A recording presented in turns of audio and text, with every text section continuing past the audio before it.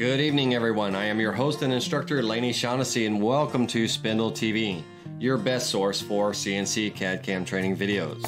Spindle TV is brought to you by Digital Woodcarver, inspiring your creativity and providing you with the tools to create your own unique masterpieces.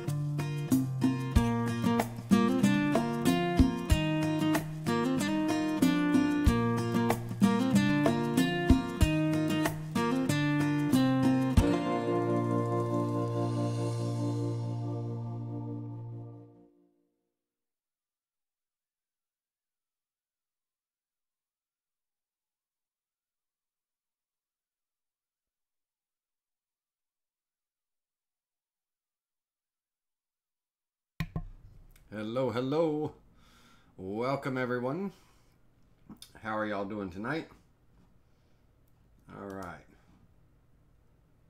Let's see if we can get this ball rolling with no hiccups tonight.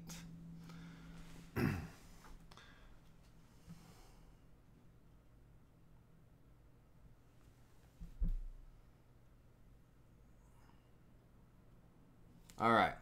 We're going to uh, let everyone give a chance to, for everyone to get jumped in here, and um, we're going to make sure that things go off without a hitch tonight. And that's going to be a big thing if we have no hangups and stuff.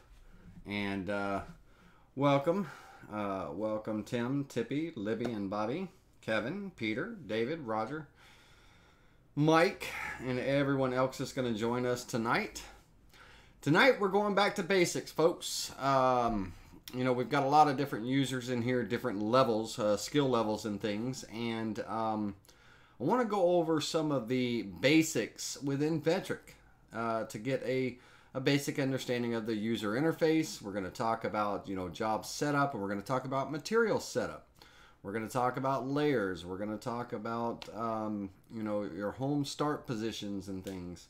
So we're going to go over a few uh, key areas uh, within the Vectric uh, and, and, kind of a basics and everything. And it's not going to be a long class. Uh, we're gonna we're, I'm gonna try to keep it short and uh, direct and to the point and stuff, and see if we can kind of just get a grasp of the basics, and then uh, that may help alleviate some you know potential problems and things. We're going to talk about safe Z heights and home start positions. We're going to talk about all kinds of stuff. So. Um, uh, thank you, Mike. And uh, I appreciate that uh, letting me know about the video and stuff. Um, anytime you guys and girls have any problems with uh, any of the audio or video, let me know. I'm hoping that we will get through tonight flawlessly and everything. And um, and hopefully uh, some of you more experienced uh, users and all, you'll stick around and uh, who knows, you know, we might pick up something. Uh, we're going to talk about the tool database. We're going to talk about different things and everything um, uh, within that. So let's uh, let's get uh, just a few more minutes. Let everybody give a chance to get in here, and we'll uh, we'll get this ball rolling. And uh, welcome, Ronnie. All right.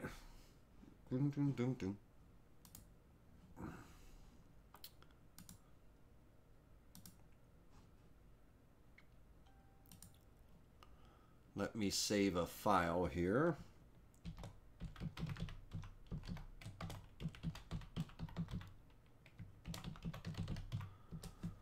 All right. Let that save and then we'll jump right on over. so I hope everyone's doing well this evening. Man, I am a I'm a kicked pup today. Uh, it's been a it's been a tiresome day. Uh, been at it all morning and uh, working on some new things uh, for you guys and girls, and um, just hoping that uh, everything starts to fall into place. I'm working on some actual videos that aren't live feeds. They're just straight to the point, shorter videos uh, uh, under some key topics and stuff. And so, um, you know, we're going to talk about a lot of things today. We're gonna when I say a lot of things, I mean we're gonna cover some of the basics. I want I want everybody to have a basic understanding of the software, their layout, and um, just different tools and stuff. and then hopefully this will you know this will help. Maybe this will uh, uh, help uh, alleviate some kind of uh, beginner questions and things and everything. So we're gonna go from there. All right, welcome Steve and uh, Mary Quinn. We can begin now. Steve and Mary here. No, I'm just kidding. Hey Steve, how you doing, buddy? Uh, Steve and Mary, my favorites from Tennessee. I got a lot of favorites from Tennessee, but they're one of my favorites. I got to go to their house and spend an evening with them when I set up their machine and stuff. Very awesome people. And Dennis, welcome. Jeff. All right. Seems like we got a good crowd here. So, without further ado, let's jump on over to the Vectric and let's get into the basics and uh, go through some of the software and see if we can get a better grasp on things. So let's move on over to our scene and that should get us where we need to be. All right, some of you may be using older software, some of you may be using the newer software. Uh, 9.5, uh, 9.515, 9.516, and um, we're going to start there uh, as uh, soon as um, we get to. Okay, here we go. So, in the software, just so you know, uh, throughout the days, the weeks, the months, and stuff, you know, every six months, Vectric puts out a major update. And that's where we go from like let's say version 9 to 9.5 and then 10 will be coming and stuff. But in between there uh, they have these uh, little patches and fixes and things. And a lot of times you will see that in the upper right corner of the software uh, little blue link uh, that would tell you that in my case I have one that says version 9.516 is available and so you know, if you see those little patches and everything, let's run them. And uh, that's where I'm going to start is uh, let's go ahead and I've got uh, a little patch update. And uh, let me turn that phone off so we don't get any more alerts and stuff. But let's uh, let's start with that. So uh, first thing I'm going to do, and we might get a little bit of a black screen when I do this, but I'm going to click on this link here, letting me know that 9.516 is available. And what that's going to do is um, that's going to ask me if the software can make changes to the computer. And I'm going to click yes. And then it's going to open up the updater. And with the updater, we're going to go ahead and click next. And it's going to download the uh, update to the computer. And then we're going to get uh, uh, something that comes up and tells us that we have to close the, the program for it to begin. And that's going to be this little window here. The application has uh, been updated and must restart in order to continue. That simply means close the Vectric software. So let's go ahead and close the Vectric software. I'm not going to save my changes right now. And then I can go ahead and click OK. And it will begin the uh, running the updater. And let me get that over on the screen over here. Okay. And once it's done running the updater, it's ready for us, uh, you know, it's available and uh, it's ready for us to continue. So we're going to click next and we're going to let it run this patch. Now the patch could take just a few seconds. It could take just a few minutes, uh, depends on your internet connection and things. So uh, this should only take about uh, a few seconds here to run across. And when it's finished, then the actual installer will come up. And uh, once that uh, runs, uh, we'll wait for the installer to pop up. And now it's ready to patch, okay? So this is the installer uh, that's going to patch uh, the software from the 9.515 to the 9.516 or whatever the version may be. So we'll go ahead and click start and we'll run that installer. Okay, so if you ever get, if you ever see if any minor updates and everything, um, run those updates and stuff. Keep your software up to date. Now, if there's a major update going from version 9 to 9.5 or 9.5 to 10 or, or what have you, those updates are actually going to be inside of your Vectric V&Co account. When you registered your software, you registered for your account, you created a password so you can log in at vectric.com. And you actually go into your account where it has a copy of your software and uh, downloads. It has a copy of all your, uh, you know, your your models and clip art and everything that came with the software.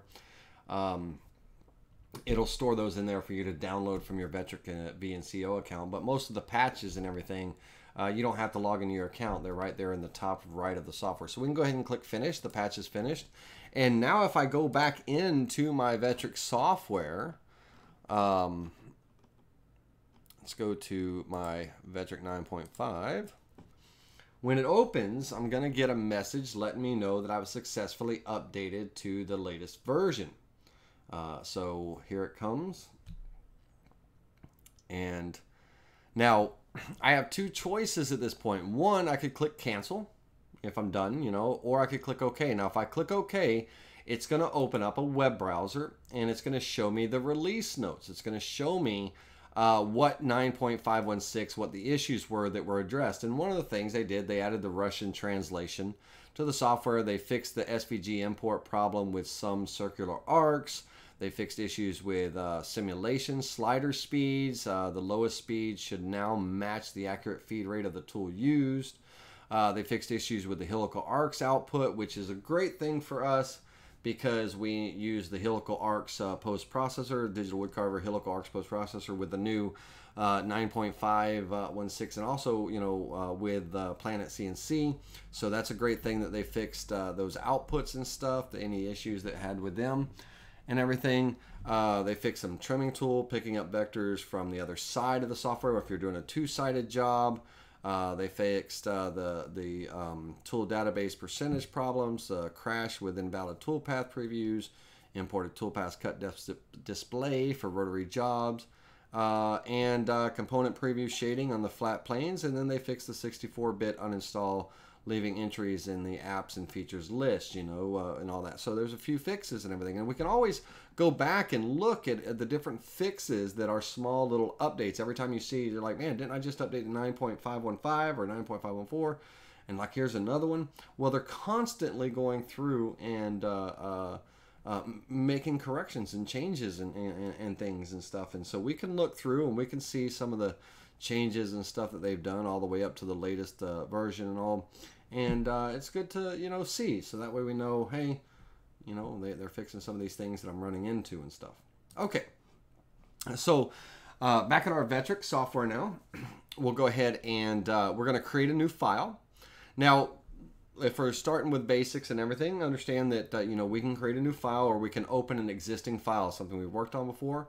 And also know that recently opened files uh, we've got a list of files that we've recently been working on here, and we can change how many of these files uh, get shown here in the recently open files list and stuff, and I'll show you where that is and all. But let's create a new file here, and when we go into the software, we've got our job set up.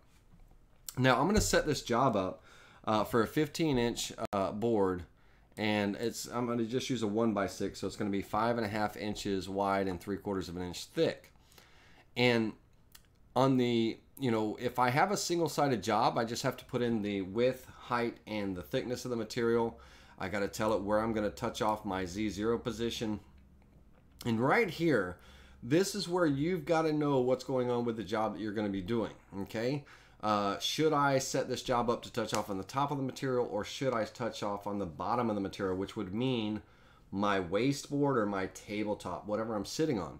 Now if you're doing a three-dimensional carving let's say as an example and the entire surface of that board is going to get milled away let's say during the rough cut or something that entire surface is going to get milled away well then i've got to change tools you know i've got to change bits and i've got a tool change and if i've got this set up to the material surface then it's wanting me when i change that bit to touch off on the original surface the uncut area and i can touch off anywhere on my project board on that surface. I don't have to I don't have to touch off in my start position. I can move my CNC anywhere that I need to move to touch off. But if that entire surface is milled away, then there's nothing to touch off to, and now I'm kind of like, okay, what do I do? So we need to kind of know uh, what we're planning uh, for our job setup. And of course, you know, let's say if we don't know that until halfway through, you know, I'm like, I'm gonna just mill the entire surface and make a plaque with a bass sitting up and whatever we can always go back and change the job setup and, and before we calculate our tool pass and all that stuff if we need to. But Uh, for the most part, if we're touching off on the top and there's you know where there's going to be material surface to touch off on, then we'll use the material surface. If that material surface is going to get milled away, then we would work off the machine bed. Now, when it comes to the machine working off the machine bed, that's not the only reason we would work off the machine bed.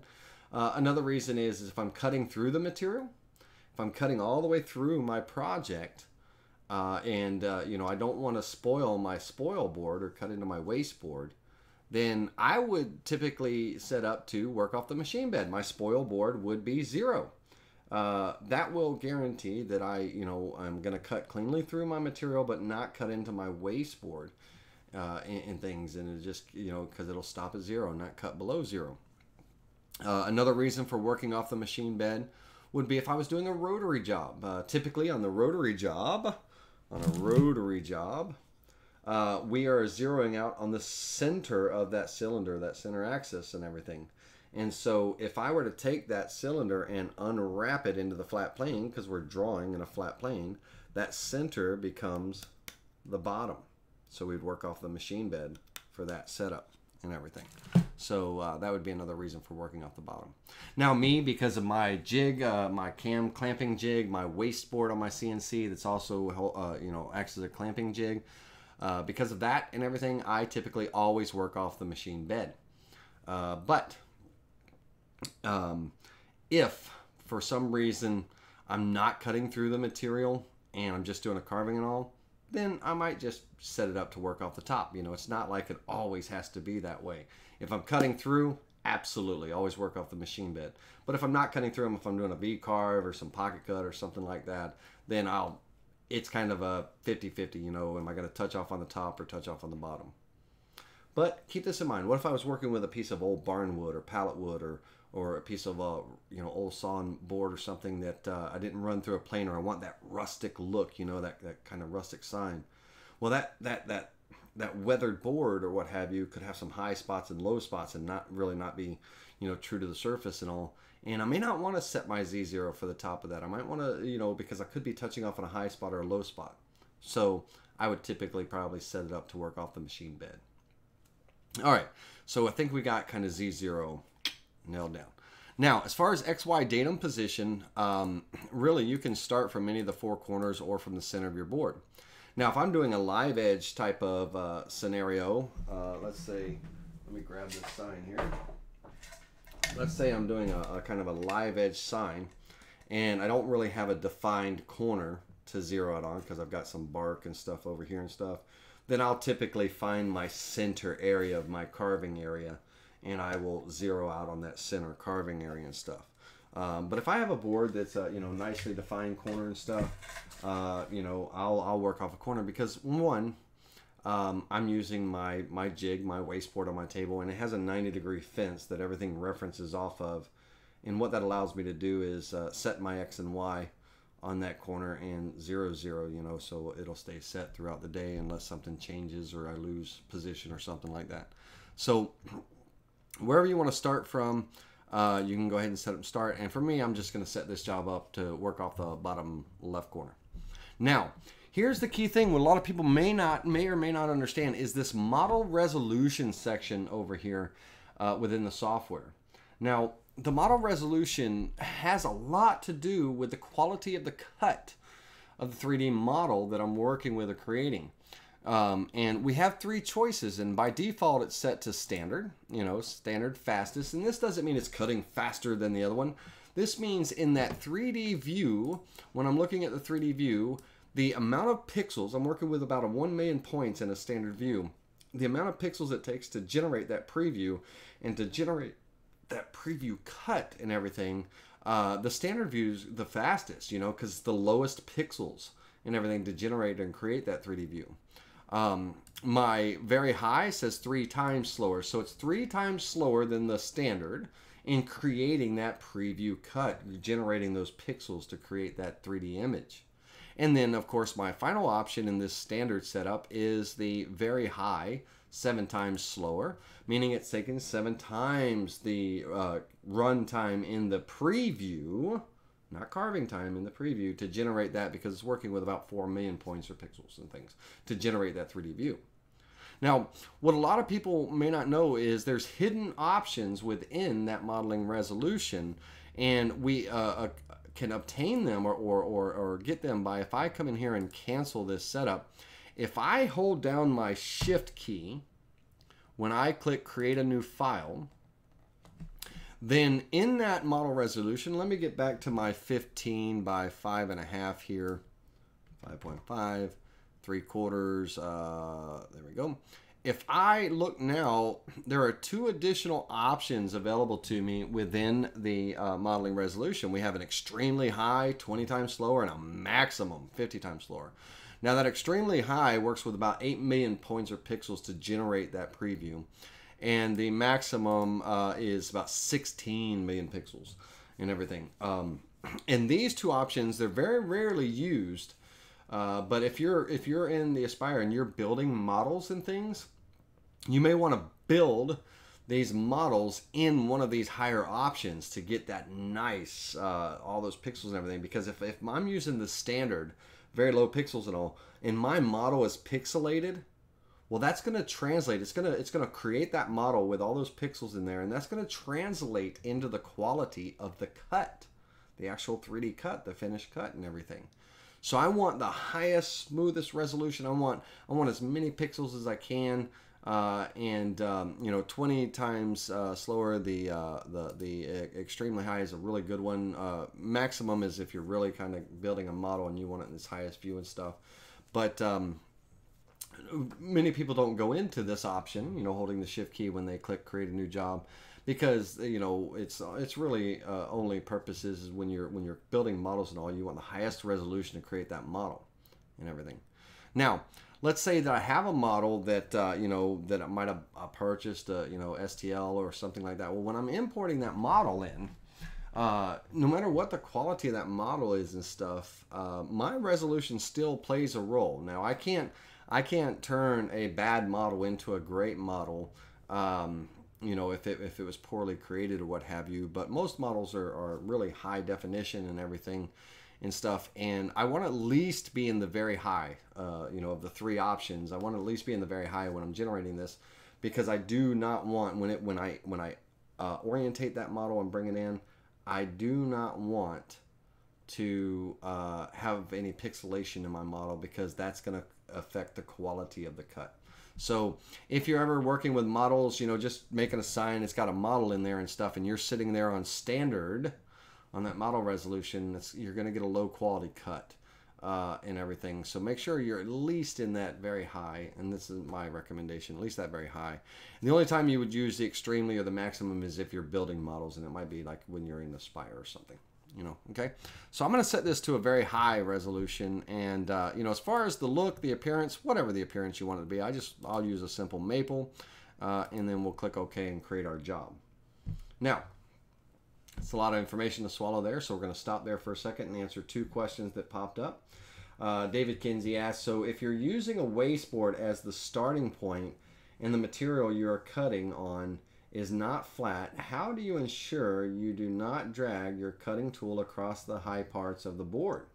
That's a great question, and that's going to get into the uh, material setup side of the software we're going to be talking about here in just a moment, but let's go ahead and kind of talk about it. I want you to notice something if you can see it. I'm not sure how blurry the buttons are or anything or how clear they are within the software uh, showing here, but notice how my home position says X0 Y0 and Z 1.55 inches.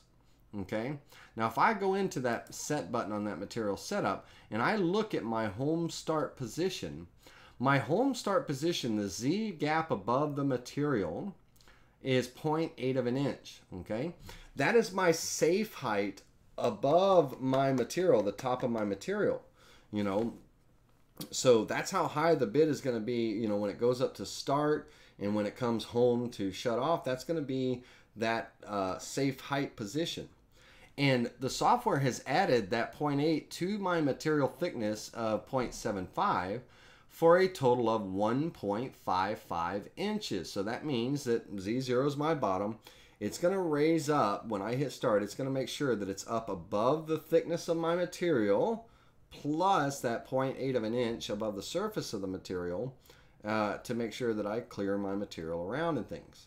And the above that home start position, we have our rapid gaps above material. When that bit is moving across the material from one place to another and everything. And, and right now I have my clearance, my Z gap clearance uh, is uh, set at 0.2, you know, 0.2 of an inch.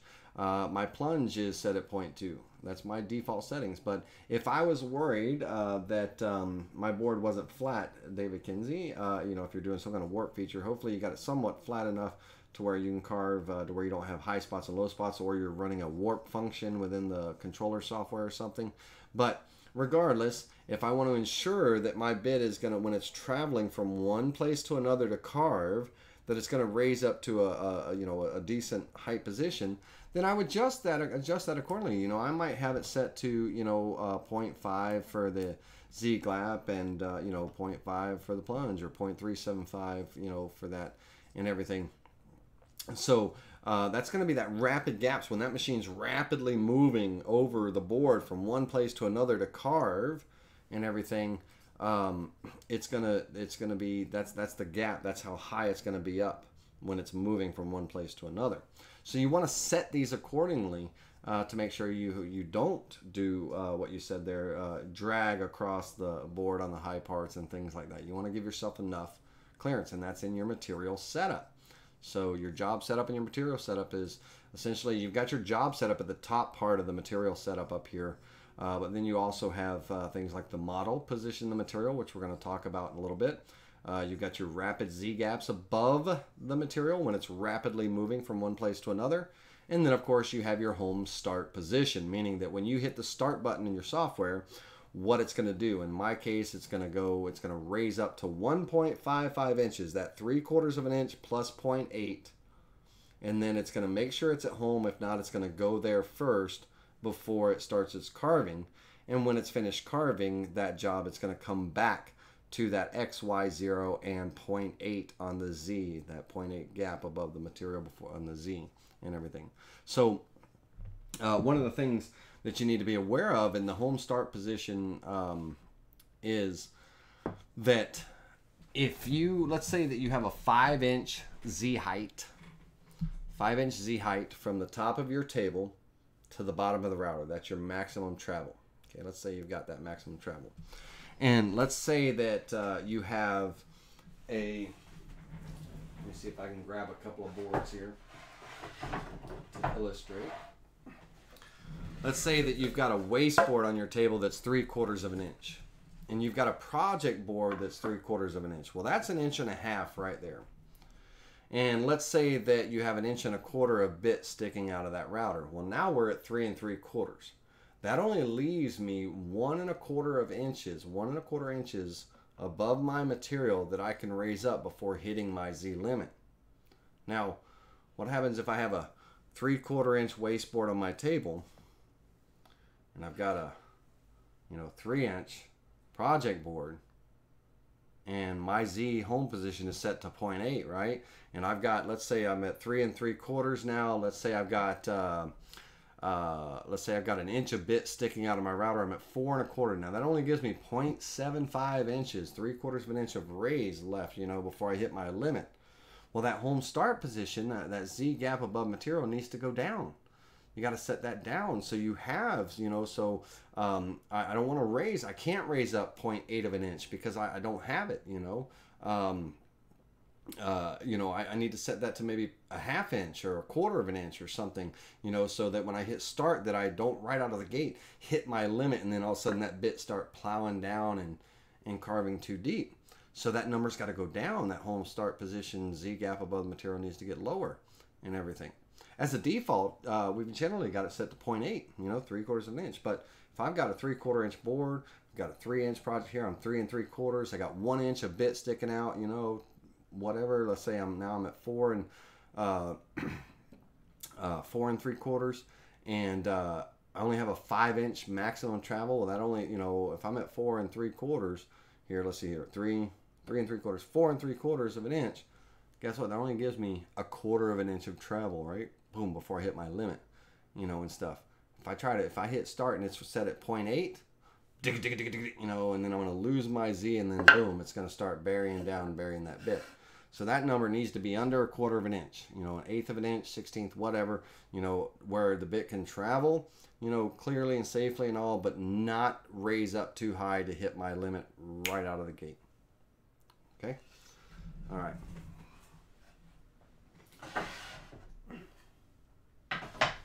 And so, David Kenzie in Toolpath Setup, you can determine your rapid Z and Z height. Thank you, Jim, for jumping in with that. Hello, Keith from Las Vegas. And Todd says, in a rapid move, uh, you're not cutting material. Correct. Uh, rapid move when you're when you're rapidly moving from one place to another. Uh, the router's not cutting. It's rapidly moving from one place, then it's going to go down whatever the plunge speed it is, and it's going to cut at its feed rate, and then it's going to raise up to its safe, uh, you know, uh, Z clearance, and then it's going to move to the next spot, so on and so forth. So that's a rapid move. It's not cutting in that rapid move. Okay.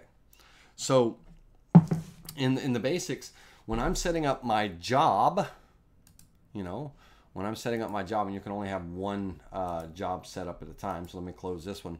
When I'm setting up my job, you know, my single side job, my board size, where I'm touching off at, and everything as soon as I program in that Z0 position, the software is going to start doing its thing and it's going to start, uh, you know, uh, adding. So if I was touching off on the material surface and I click OK, well, if I go look now at my home start position up here, home position X0, Y0, Z.8, you know, but if I set my material set up to work off the machine bed, now it's going to take in effect the uh, size of my material, the thickness of my material, and uh, you know that's going to change my Z home start position to 1.55 inches. It's going to raise up the three quarters of my board and then to my home Z position 0.8 above the material, my Z gap above the material.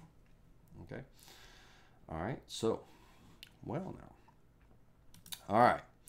So now once we click OK, uh, within the software, we're taken into our drawing tab. Uh, these where our drawing tools are. We have file operations and things. And right out of the gate, right here, right at this job setup, you really should get into the habit, and I'm bad about doing this myself. When I create a job, I usually don't save that job until like I start saving the toolpath, like, oh, I need to save my design too. But you know, we, we, we all have to, you know, kind of retrain ourselves and stuff. But right here at this point, boom, I just hit OK and I set up my job. Now I need I should come over here and I should save my design.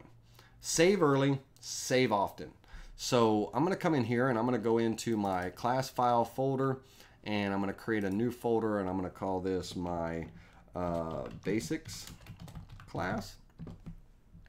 And in this folder, I'm going to create my um, back to basics job I'm going to hit save. And normally I don't put uh, spaces in file names, but that's okay. Now this is going to save this job as back to basics. And now as I'm drawing or and, and creating and stuff, I can come over here to the save button under file operations and I can save my updates every time I make change and all. Save early, save often. That way in case the power goes out, uh, in case, you know, computer dies, something, all this work that you put into it and all, um, you don't lose it. Or you know, some people think saving their toolpath saves their design, and that's not the case. It's two separate things. So they go they go and save their toolpaths, and then all of a sudden they you know they've saved their toolpath files and everything, and they go to close out of the uh, uh, Vectric software, and it asks them if they want to save their changes, and they're like, "No, I just did." Boom, and they hit no. Well, it's not. It's as it's not asking if you want to save changes to your toolpath. It's asking, do you want to save changes to your design?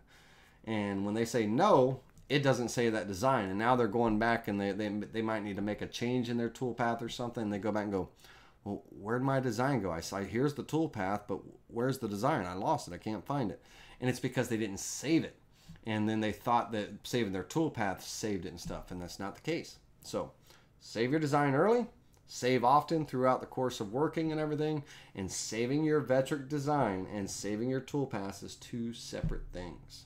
So don't think that saving your toolpath is going to save your design. So if you get asked that question, do you want to save your changes? typically you're going to hit yes. Okay? All right. All righty. See, I feel like things are going well. I don't want to get too confident. Um, let's see here. All right, good evening, everybody that's joining us now. All right, so within the uh, software, we can import files into the system. And, and here's the thing um, typically, let's say that you've downloaded an EPS or, or a DXF file or, or something, uh, and you want to uh, open that job or, or create that job or something. I'm going to recommend that you create your job and your job setup and everything. And then you come in and import that vector, whether you use the file operation import vector or import photo like JPEG, PNG, bitmap, GIF, or TIFF, that you import from here or from the file menu, file import, and you have your import options and everything. Now, I can go in and uh, if I were to close out of this right now, and if I were to go into my files, and if I were to go into my uh, downloads, let me go to my downloads here, and I were to go to a uh, DXF, and let me see if I can, if I've got a DWG, not a DXF. Uh, let me find my trans matrix A B C D E F G. One more row down. S T T T T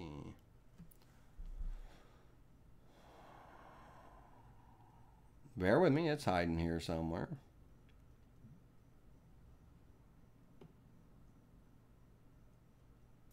Okay, so this DWG file. Now, if I, from the get-go, I don't have Vectric or anything. If I go to open this file, uh, you know, and I've got it set that I can open in VCarve Pro, you know, what have you, that it's going to read that file and everything. It will open up in that VCarve Pro. Now it's going to open up most likely in my older VCarve Pro software, um, which it did, uh, but it automatically set up the job based on that DXF file or that DWG, you know, file. Um, you know, it's setting up the job based on that. And you see here, it threw in an offset, you know, because that, that design had an offset built into it. It has a negative 14 inches in the Y in the offset, which I do not want and uh, and everything. Um, what that's saying is is right here, you know, that's my XY datum down here. That's my start point, but it's saying use the offset. And look where my zero zero is in this top corner here. Uh, you know, so I would think I'm zeroing out on my board, but it's gonna, you know, it's it's off by 14 inches in the y-axis and everything. I don't recommend opening a file that way because you know, uh, however that creator created it, that's what's gonna kind of get populated within the job setup and all. What I recommend doing is, you know, coming in and let's uh, go to our Vectric software. and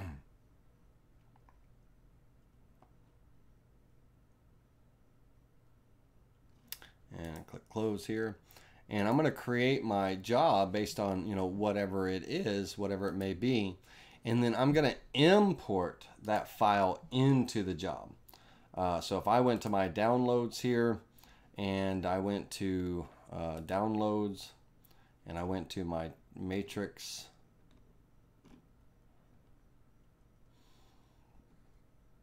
uh, matrix matrix matrix matrix matrix matrix.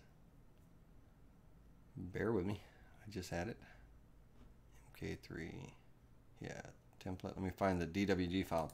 I'm going to import that in and now it's going to import that into my job but it's not changing my job setup. You know it's not altering it anyway. Now from here I will decide what needs to be done with this DWG file there SVG or whatever it may be. Do I need to resize my job you know my board for this because I didn't set it up quite right do I need to scale this down you know so it fits you know within my project board what is it that I'm doing. But I don't want that dictating my job setup. So I'm not going to just sit there and try to open it from my files. You know, I'm going to import it in. Okay. And your types of files that we can import, we can import those DXF files, DWG, EPS, Adobe Illustrator files, AI, uh, PDF files, PVC, V3D, and V3M and CRV. Those are all three Vectric format files. PVC is that photo VCarve, uh, V3D is Vectric 3D, V3M is Vectric 3D model, and then your CRV is, of course, your VCarve file. And uh, then we have SKP or SketchUp files or SVG. So these are the types of files that we can bring in as far as vector files are concerned. Now, we can also import images. Now, an image, when we import an image, a JPEG, PNG, bitmap, GIF, TIFF, TIFF, and TIF, and JPEG, uh, these are pixeled images, and uh, they have to be traced uh, by the software, uh, and they got to be converted into a vector before we can create a toolpath on them. And so uh, we can import those images, those different image files, but we they do have to be traced, and they have to be converted to a vector or, or turned into a vector through that tracing, and then we can create our toolpaths on that design. We can it's a scalable graphic at that point. Now here's a key tip, you know, when you trace an image, and you get that vector take that vector and export it out. So let's say that I go in here and let me go to my uh, desktop and let me go in here and let me grab an image. Let me zoom into this image. Now, if I trace this image and everything, and I'll turn the fading off and stuff, but if I trace this image, let me turn my this up. If I trace this image and everything, and I come in and I, you know, uh, apply that tracing, and I'll talk about photo tracing in a minute. We'll get more involved in that in just a second. But, you know, I come in here and I, I, I come in and I, you know, get rid of, and let's close this tool. Always close your tools when you're done. And I get rid of don't want. Now I've traced this image, and I this is a scalable graphic now. I'll never have to trace that image again. If I want to use this image in other files and things, I'm going to simply, instead of retracing that photo over and over and over again, I'm going to select that photo and I'm going to export it out of the software as a DXF file. DXF, SVG, PDF, AI, EPS, but I'm going to use a DXF. That's kind of my default. And within that, you know, we can go through and, uh, you know, if I go into my downloads and everything and um, is it in my downloads? I don't think it's in my downloads. I think it's in my backup. Started backing up everything now. Uh, ABC, ABC,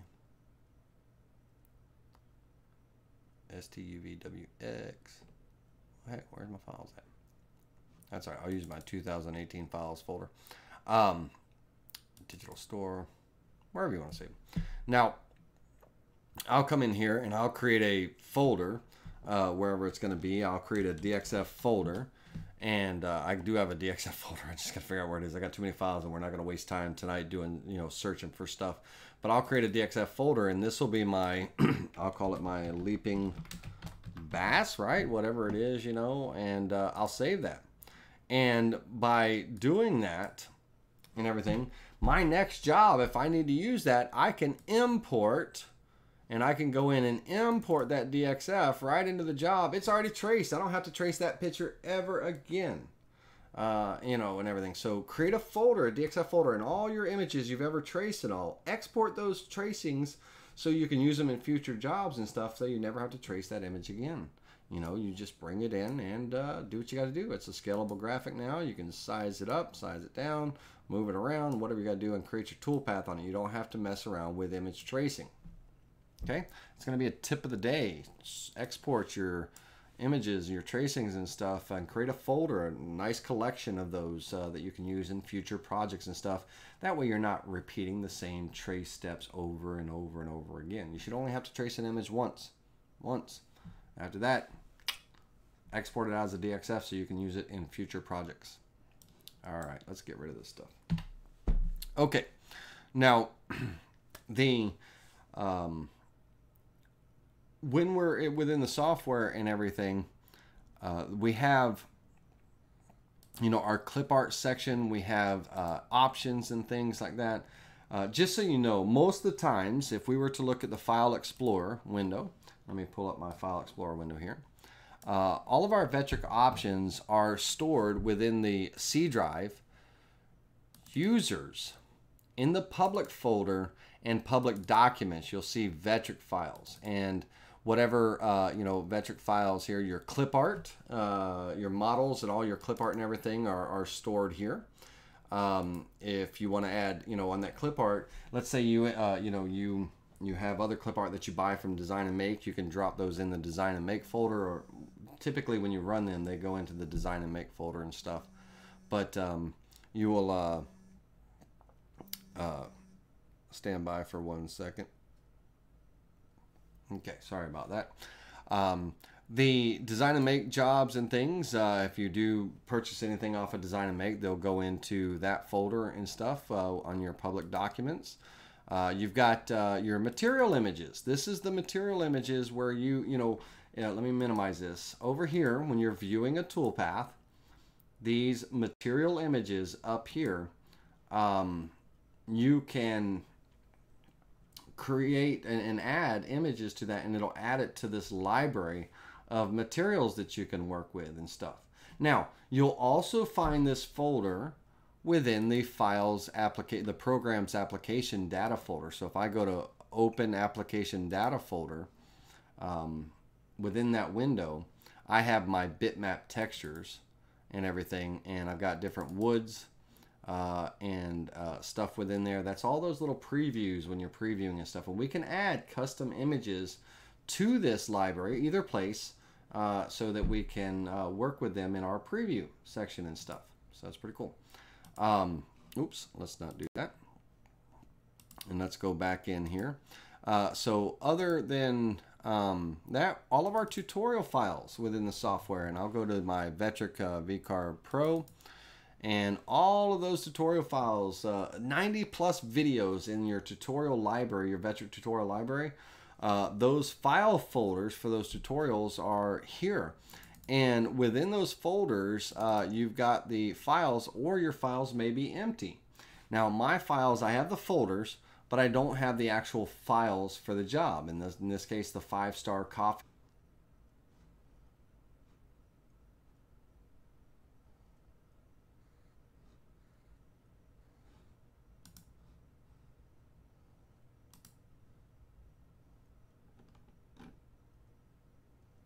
Okay.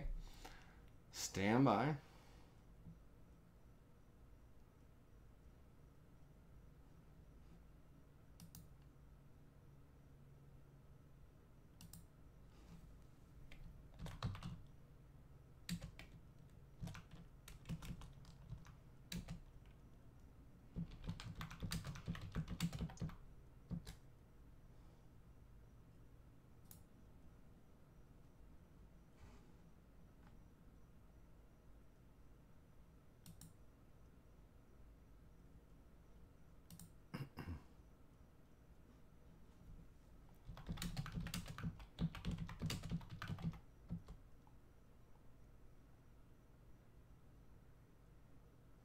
All right. Let's pause here for a second and give uh, the old uh, one-two punch. Uh, he says didn't pay the bill. Uh, let's give this a moment to uh, get caught back up. Man, oh man. Uh, web um, Streamlabs, get your shit together. have the biggest problem with uh, them. I think I'm going to change uh, my my streaming scenario. Streamlabs OBS, get your shit together. All right, excuse the French. Doesn't that just upset you? Because I have no idea where you guys lost me uh, and where we lost each other and stuff. Uh, so um, I have no idea. So somebody kind of let me know about what I was saying when we got disconnected. Uh, let me know that in the chat area and we will just uh, we'll just move on from there. All right. Friggin' Streamlabs. All right. You know, kicking my butt. Okay. Stand by one second. Let me uh, close. I'm going to close some other programs and stuff uh, that might be, I don't know. I doubt anything's causing the problem, but other than Streamlabs itself. All right. Um, I wish I could, Mighty Mark. Uh, you were saying the files were empty in the Vectric software. Thank you very much. All right, so the files in the uh, the video tutorials were empty, and um, when the when I go into the help section of the video browser uh, tutorial library, if I go down to that five star coffee sign tutorial where that folder was empty and everything, and I view that tutorial, I have the option of downloading the files, those tutorial files to my computer. So if I go ahead and download uh, the tutorial files, um, it'll ask if I want to run or save. And in this case, uh, I could run or save. And so I'll go ahead and just hit run. Uh, and what this will do is that once it downloads those files, it'll automatically run the installer. So uh, this is going to take about 12 seconds to download uh, these files. And uh, four seconds, three seconds, two, one. Once it's done installing, it's going to run a security scan and then all of a sudden it will open up the installer. And the installer, before it opens, it's going to ask for permission to make changes to the software. We would click yes, so on and so forth. So let's give it a second to do that and hopefully we don't get interrupted.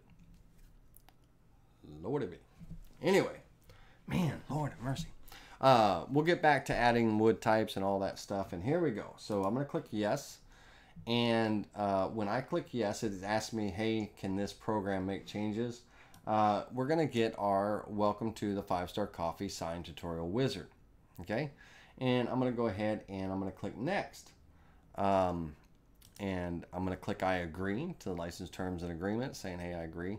Uh, and then I'm going to click install.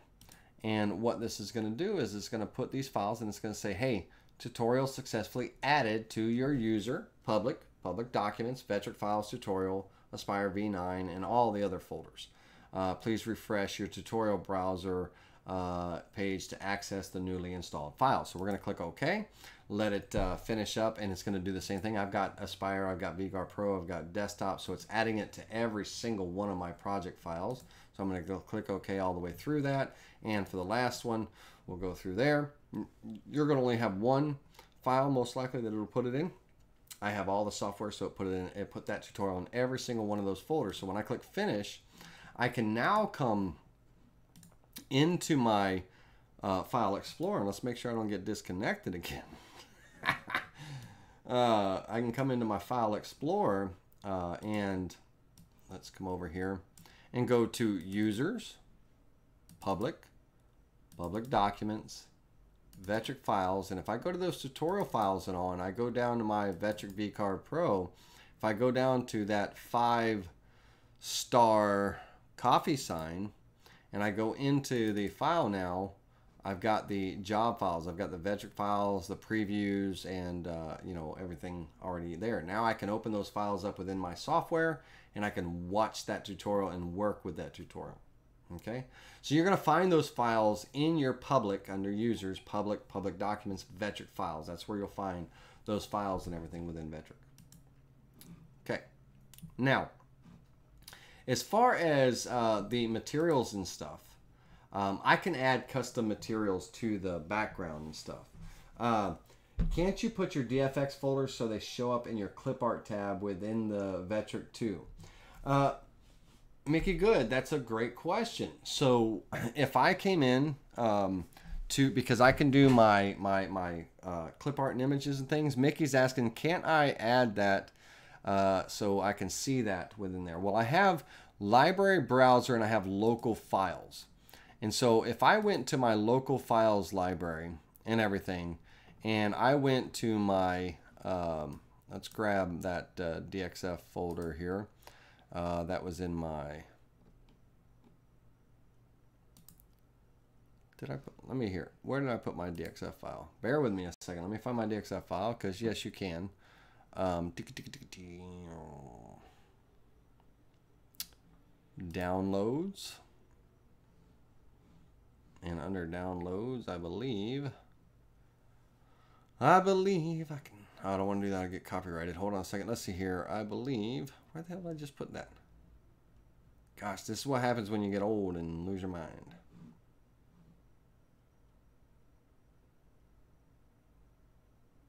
Where did I just put that file? It's in my 2008. Oh, it's in. It's not in there. It's in here. Sorry, it's in my J drive. Man, that was driving me nuts. I was like, I knew I just put it in here. So my 2018 files. So, um, and uh, my digital store. That's where that DXF file is. Let's move that to the desktop to make things easier for right now, so I don't have to be digging through all these. My desktop. All right. So, within my software, if I go to my desktop here and I find that DXF folder um, I can right click and I can add that folder to the library right here within the Vectric. And uh, it's going to say, uh, you know, added folder, you know, DXF to the browser library. So when I click OK, in my browser library, I now have that DXF file and I can come in and I can, you know, uh, I've got that. But guess what? It's not going to show me the images because you can't see a DXF unless I have a DXF viewer. So that's not going to be a viable option um, for me there, Mickey. So because it's a DXF, there's it's only going to show images or it's going to show model files, clip art, image, you know, clip art and stuff. Um, DXF is not going to show in there within the Vectric. So that answers that question, doesn't it? It does. It does. You know, so it's not. It'll add it to that library, but it doesn't. You know, doesn't do anything for me. You know. Um, if I go back to my local files and I, you know, uh, try to open that local file, nothing's previewing down here. I'm not going to see anything uh, within that, no matter what section I'm in. So, you know. Now, my Joybox uh, class files or, you know, uh, you know, other files, vector files and everything, you know, those vectors and stuff uh, that are there, that it's a CRV file. It'll show my CRV files and all, but it won't show my DXF because I don't have a DXF viewer built into it. Okay. Alrighty. But that's how you would add it to the library if it's something that you could view. Like all your CRV files, you can add that to your quick access. You know, if you have a CNC jobs folder and you want to be able to pop those up or something, you can do that. Um, and uh, Mickey Good says uh, he believes that SVG files do work. Um, let's see. We'll, we'll, we'll wrap up on this. Uh, I don't want to get hung up on it too much. Uh, but if I come over here and grab an SVG file, let's go into my backup drive and .svg.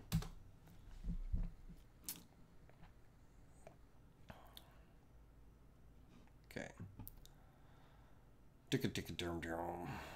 All right, so Within my SVG, I've got some bold monograms and stuff, so we'll grab that folder. So if I go to my local files and I go to, let's close up uh, these options here and go to my Seagate. And in my Seagate, if I go down to my um,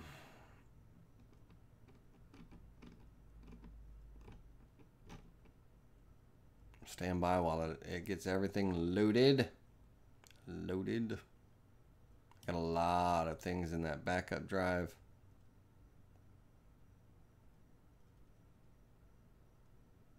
Yeah. I go in here and I grab my SVG folder and all. No preview there, buddy roll. If I go ahead and add that to my file library, and I come in here, my SVG, no preview. Sorry, Mickey.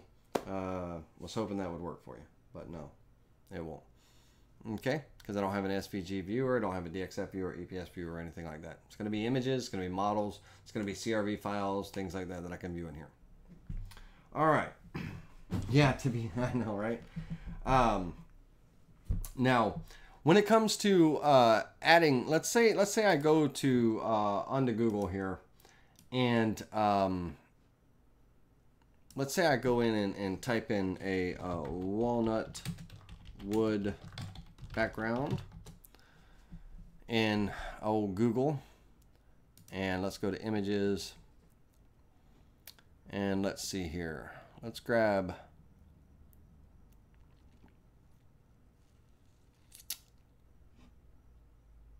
I want a high resolution image. So let's go to tools, Vectric uh, Google Tools, uh, larger than, and I'm going to go 800 by 600.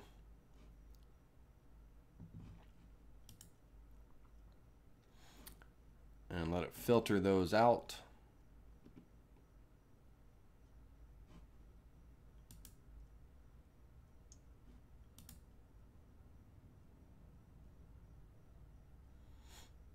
Mm-hmm. There we go. All right, so let's grab this image here. Let it load. That was not the image that I wanted there, Buddy Row.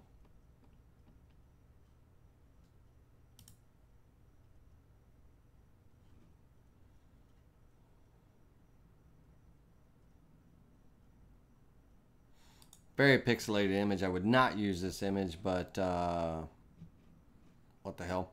So we'll save that image and we'll save that as walnut 3 and let's move that into the C drive users public public documents Vectric files material images and we'll save that there and if I were to restart my Vectric software, I should have it in there. I may I shouldn't have to drop it into the application data folder. Let's find out. Bum, bum, bum. 9.5.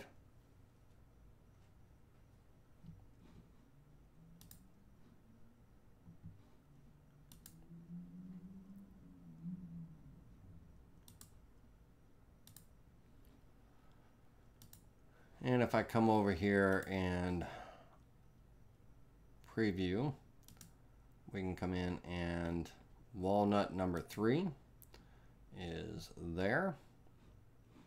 And again, very poor image, very pixelated image. I would not use that image. I'll end up deleting it. But anything that's in that preview will get added to the uh, library here. Okay, and, and everything. So, but that's a that's a piss poor image. Uh, it's very pixelated and stuff. But you get it? You get it? You get the gist? All right, let's get on past that.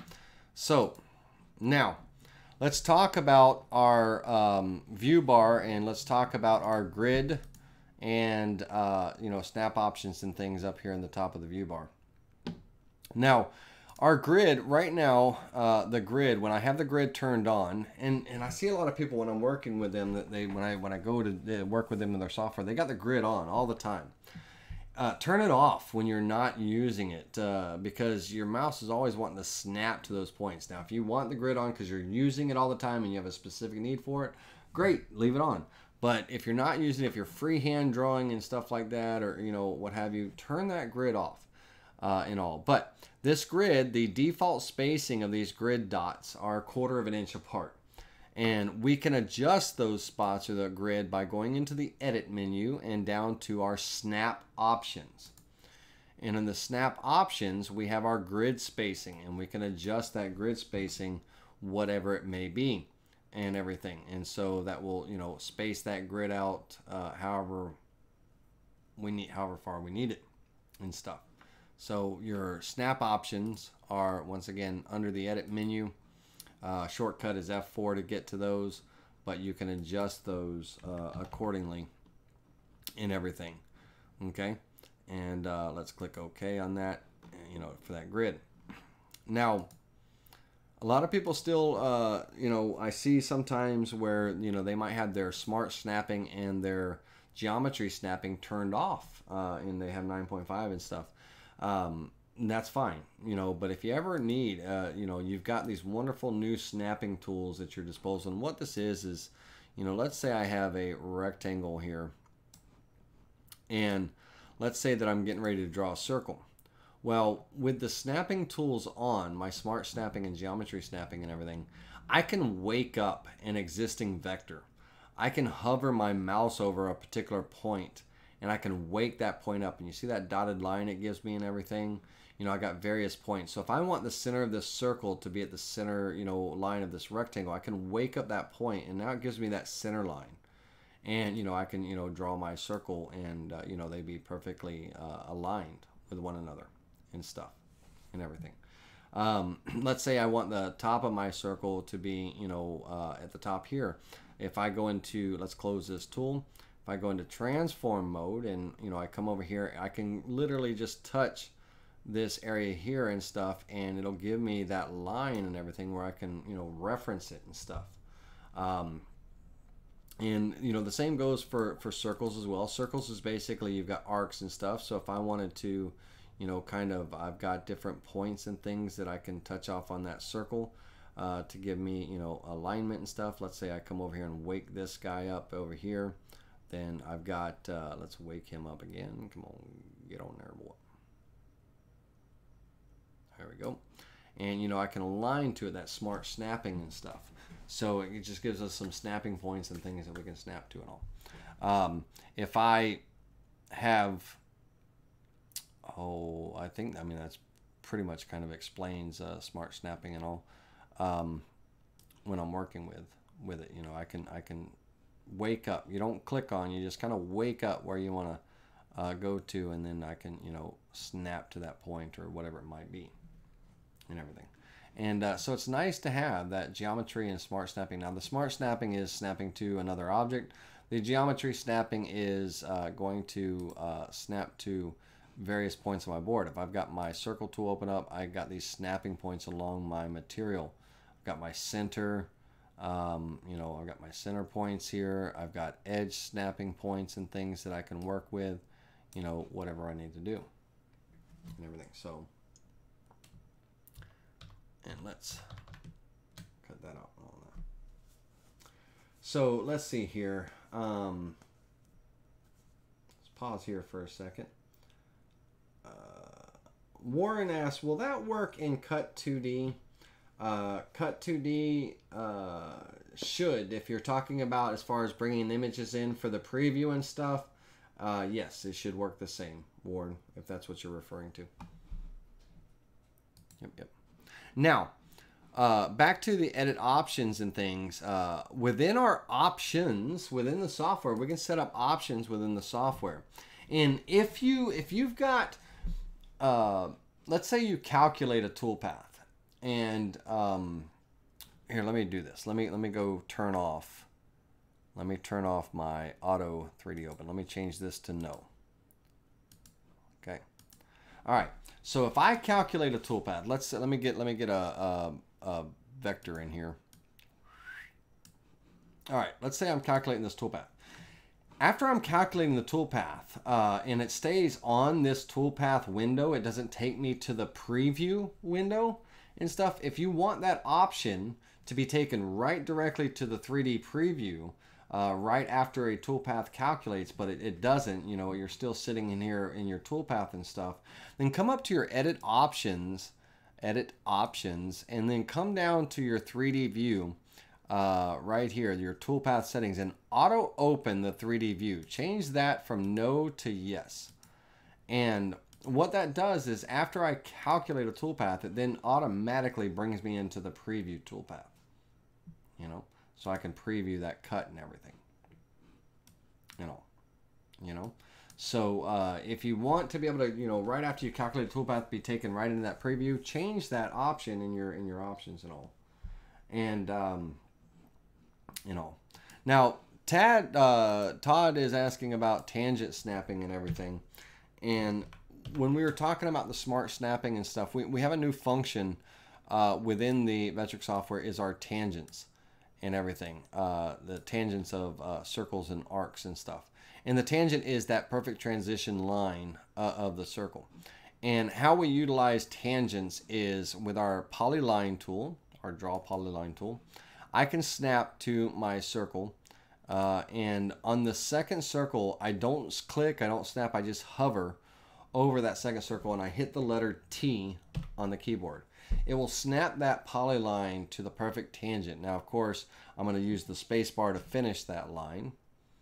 And if I come over here and I click here and I hover over this one and hit the letter T and uh, everything, you'll see it snap to that perfect tangent line and everything.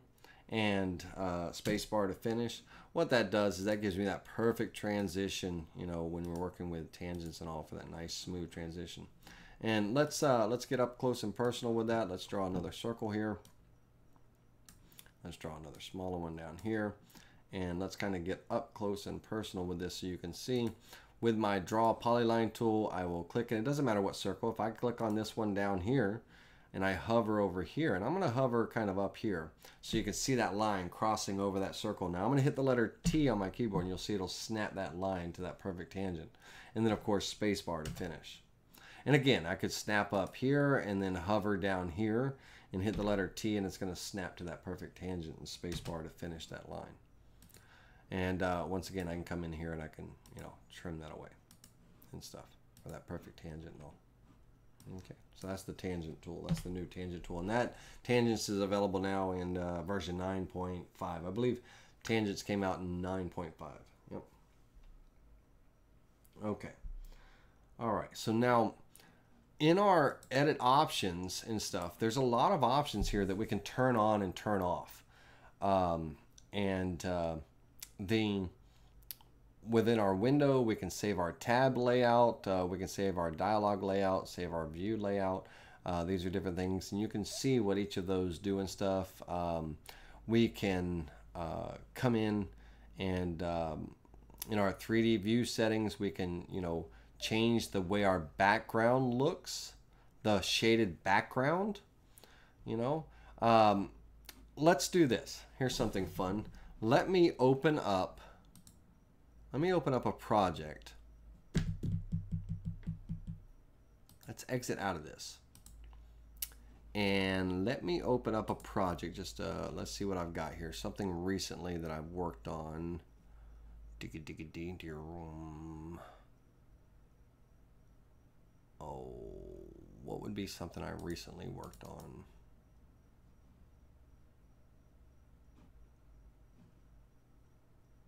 trying to find a picture. Standby.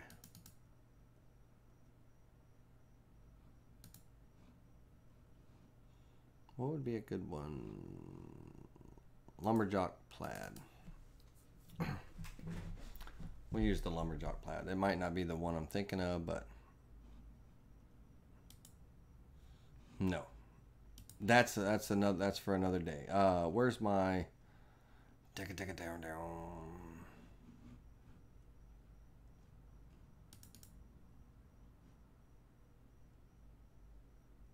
Oh come on, where's a I I know I saved one just recently. This is a good little fun little thing. Um, Son of a gun, give me a picture. The woodworking show plaques. Oh, no, that's that it. Here it is. Here it is. Fishing design. That's a good one. Just bear with me a second. Let me open this up. Yeah. All right. Now, this opened up in my toolpaths in there so I don't have to recreate them. No. Let's take this.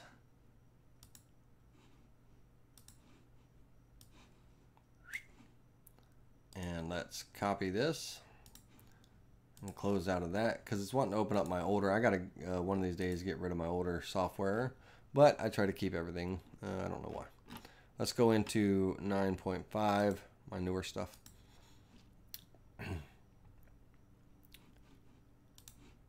All right, create a new file. Let's go in and let's go uh, 21 by 11 and a quarter. Three quarters, uh, working off the machine bed, bottom left corner. Click OK, and let me paste these files in here and let me center them. F9, keyboard shortcut for centering. All right, there's two things I want to show you here. Uh, there's a couple of things I want to show you. Uh, one, let me create a toolpath. Uh, let me create a toolpath. Let me just do a very simple V-carve toolpath. Uh, zero start depth, zero flat depth, 60 degree V-bit. I'm going to calculate this out. And uh, okay, it needs a flat depth because of that fish's tail and bob's wanting to right through. So let's go with a flat depth of an eighth of an inch and calculate this out. I'm not going to use a flat area tool because this isn't a tutorial on creating Bob's bait and tackle sign. And we did that once before. Um, all right, so I'm still fewing in that walnut. Let me get to the maple here. All right, now imagine, imagine that um, I'm going to be hanging this sign up in a in in a shop or my customer's home or something like that, and uh, they need uh, kind of, they, it's hard for them to visualize what it would look like and stuff and let this preview out. Now this is an ugly sign, but just bear with me on this. So let's say I'm going to hang this up and all that. Well, that customer could send me a picture of their kitchen wall. They could send me a picture of their bedroom wall. They could send me a picture of, you know, uh, what have you. And let's go on Google. Let me find a bedroom wall or something. Uh, I don't have a picture just laying around of a bedroom wall uh, and stuff, but let me grab one just to show this uh, fun little thing that we can do within Vectric. Uh, let's see here. Uh, we'll do kitchen wall. B kitchen wall? How about B? How about kitchen wall, not B kitchen wall? Let's go kitchen wall. I don't. I want an A kitchen wall, not a B kitchen wall. Now, if I go into images, and of course, uh, credit where credit is due to uh, the fine folks that uh, created these images, I'm just using it for a brief moment. Uh, but let me find a kitchen wall that has some blank space on it. Uh, tbooks.net. Visit tbooks.net. Uh, you know. But let's go ahead and pop in here. And let's save this image. Just for demonstration purposes. We're going to save this uh, on my desktop. And click OK.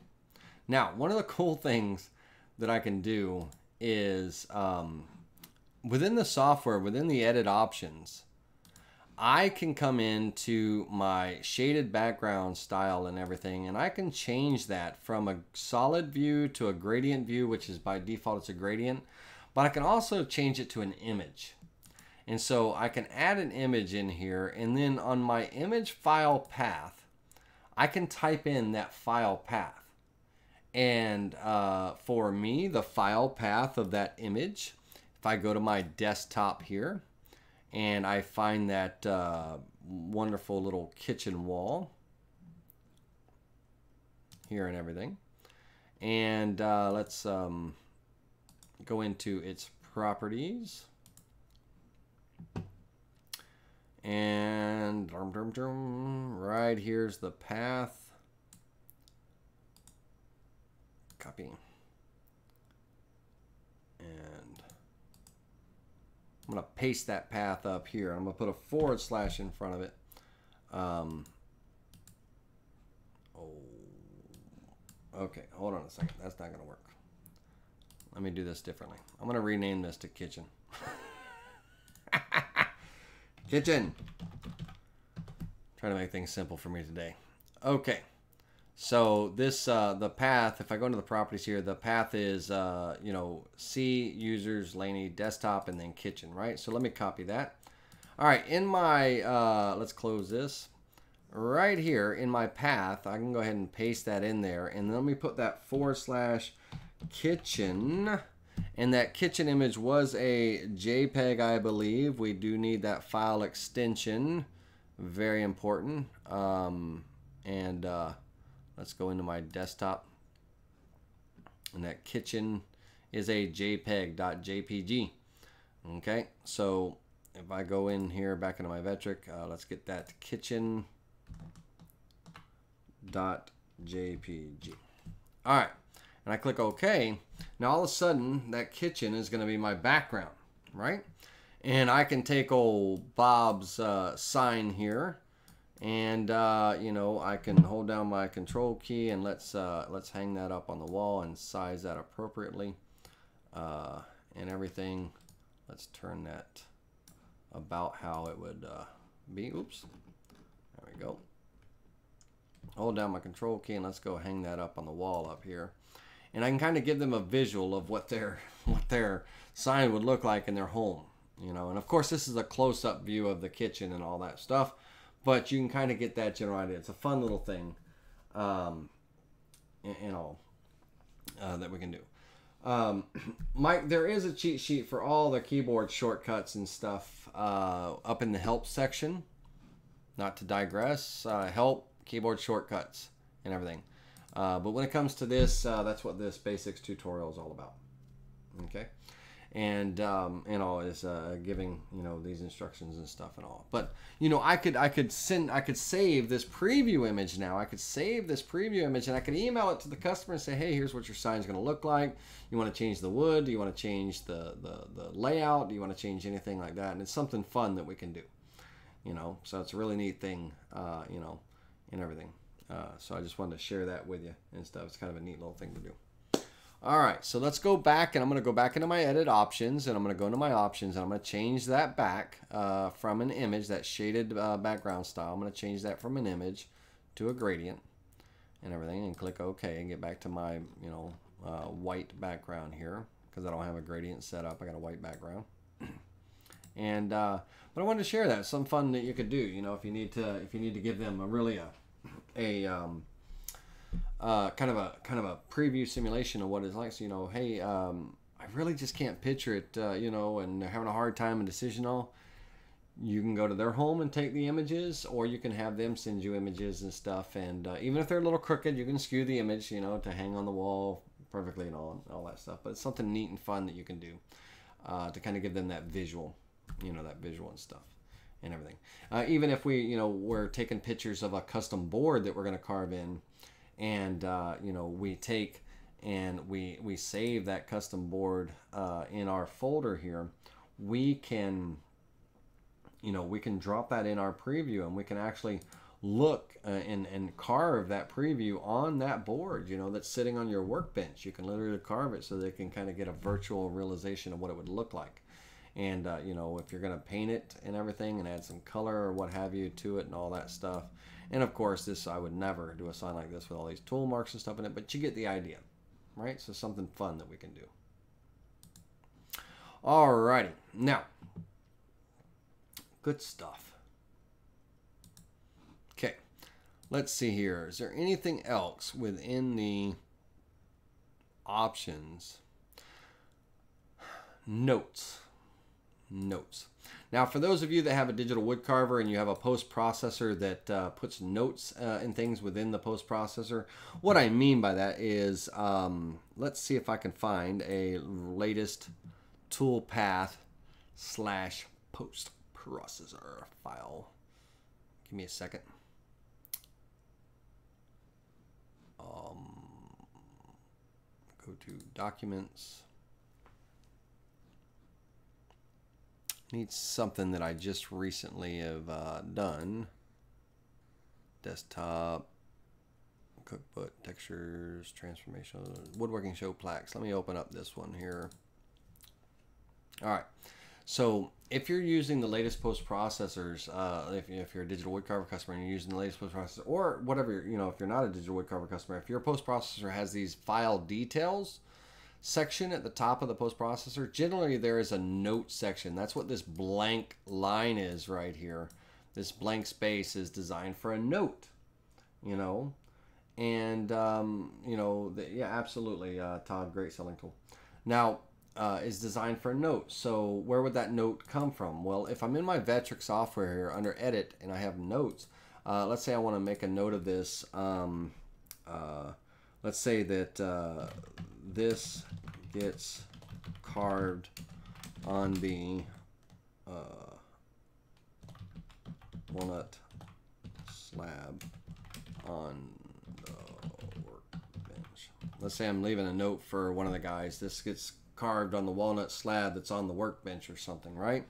Uh, and everything, and and all. And I let's let's go over and save this toolpath and I'll save this toolpath. It doesn't matter which one of these I save in, but let's go ahead and save this toolpath.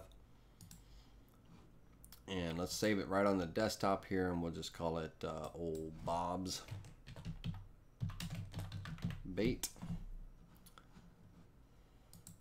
Now, if I go look at that toolpath file, that which what they would see when they open it up in the controller program, if I go and open this up, you will see that we now have a note that's placed in the, uh, the, the details of that file.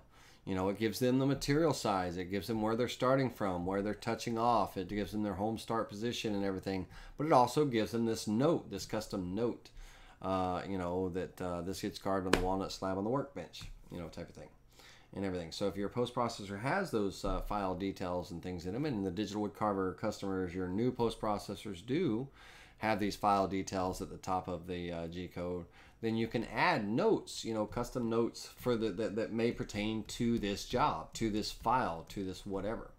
And uh, those notes will appear in the file detail section of that G code of that toolpath when you save it. Okay.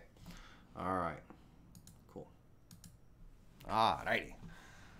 Okay, let's close this and let's get rid of old um, Bob's here for a moment. All right. Now,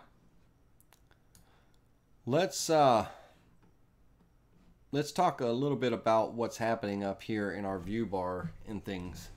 Um, we have the ability, uh, our view bar right now, when we're in single sided view, you know, a single sided job and stuff, there's nothing over here but our layers. And we're going to talk about layers in a minute. I want to kind of really get into layers here in just a second. But we have our layers, but we have our, you know, our snap options are here. We have our, our pan and zoom tools and stuff. And, you know, the, the pan and zoom tools, uh, your first zoom tool is a zoom window, meaning that you're going to literally draw a window around the area that you want to zoom into. That middle magnifying glass brings your whole workpiece back into full screen view. And the uh, last magnifying glass with the pink dot is zooming in. Now to the selected object, whatever object or objects are selected. Now, also we have our mouse, you know, wherever that mouse is pointing, you know, we're typically going to zoom in to that area, wherever that mouse is be, that's, and I roll that wheel on the mouse, that's typically where I'm going to zoom into and stuff. But aside from the zoom and stuff, we have, we, we have things that we can toggle on and off and uh, our, our toolpath visibility is, is a big thing. So let's say that I create a profile toolpath on this, and uh, let's say that I'm cutting on the outside, but I have an allowance of uh, negative, uh, 0.125, an eighth of an inch allowance on this cut and everything, about half my bit basically. Well, when I'm looking in the 2D view, uh, when you see these little arrows and lines and things, that means a toolpath is visible. That means over in your toolpath, you have a toolpath checked. So you can always come over and uncheck that if, if need be. But you also have the ability to turn that visibility on and off up here in the view bar. So we can turn that toolpath visibility on and off here. Now, when you're looking at the wireframe view within the, uh, the, the software and stuff, that is a showing you where the center of that bit is cutting and what direction that bit is cutting in. So is it going to be cutting in a counterclockwise or clockwise direction? You might be wanting to do a climb cut versus a conventional. And we'll get into climb cuts and conventionals in another class. But let's say that I wanted to make sure that my offset allowance was in the right direction. Well, I can toggle from that wireframe to a solid view. And now I'm getting the full diameter of that quarter inch bit. Uh, and you can see that I'm over my line here by that eighth of an inch.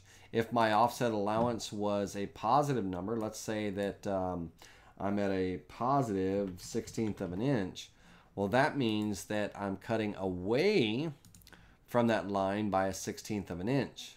Okay, positive is away from the vector, uh, negative is over or towards. So now I'm cutting on the outside of the cut and I'm in a profile toolpath here and I have a positive allowance. Well, if I set that and change that to a negative allowance, that means I'm letting that bit cross over that line by that 16th of an inch. Now, that's on the outside of the cut, right? Well, let's go and let's look at this profile toolpath if I was cutting on the inside of the cut and I'm doing a negative allowance. Negative allowance still means that I'm cutting over the line. Okay?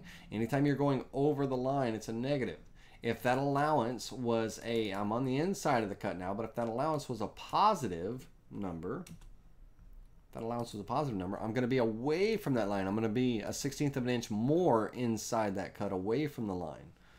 So when you're going away from the line, you know, whether you're on the outside of the cut or the inside of the cut, when you're going away from the line, that's a, that's a positive number. When you're going over the line or, you know, letting it kind of cross over, that's a negative number. Doesn't matter if you're in, in inside of the vector or outside of the vector. Negative is over the line. Okay? Positive is away from the line.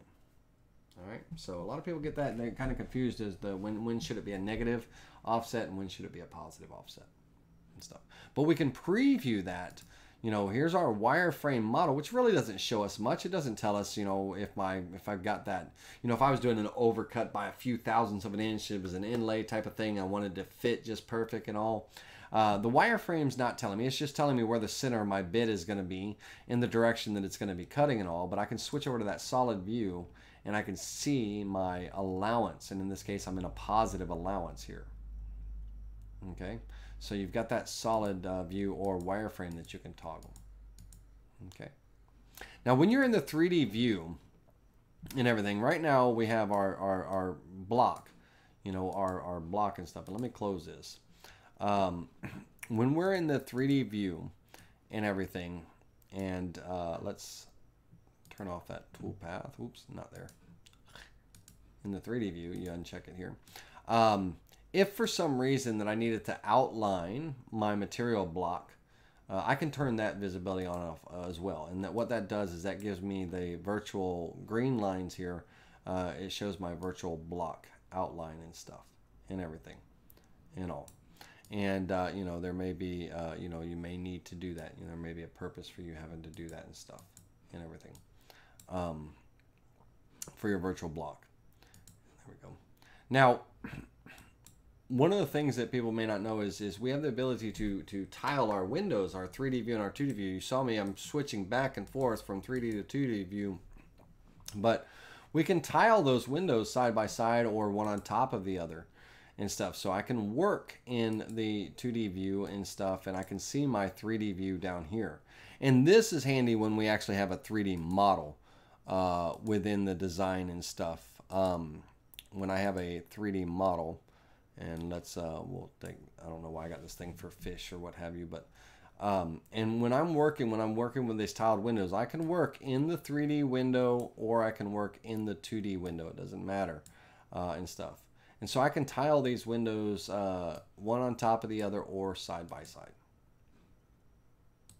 Okay, so we've got that and everything.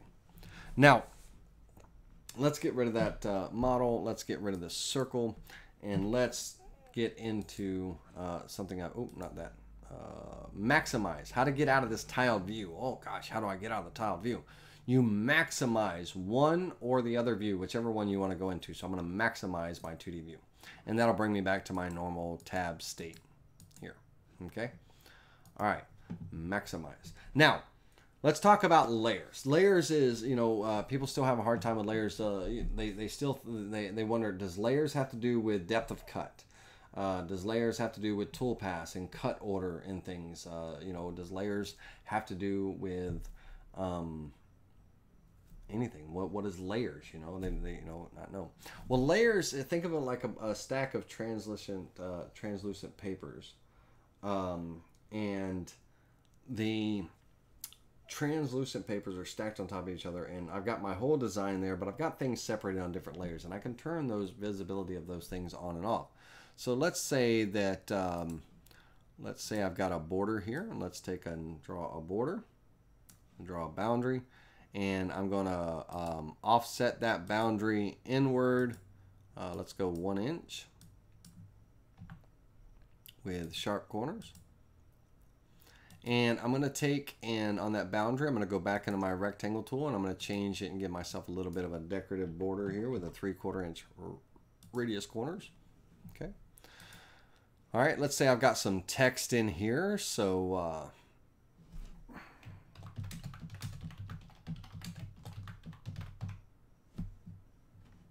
and let's change this text size to one inch. And let's say that uh, I've got a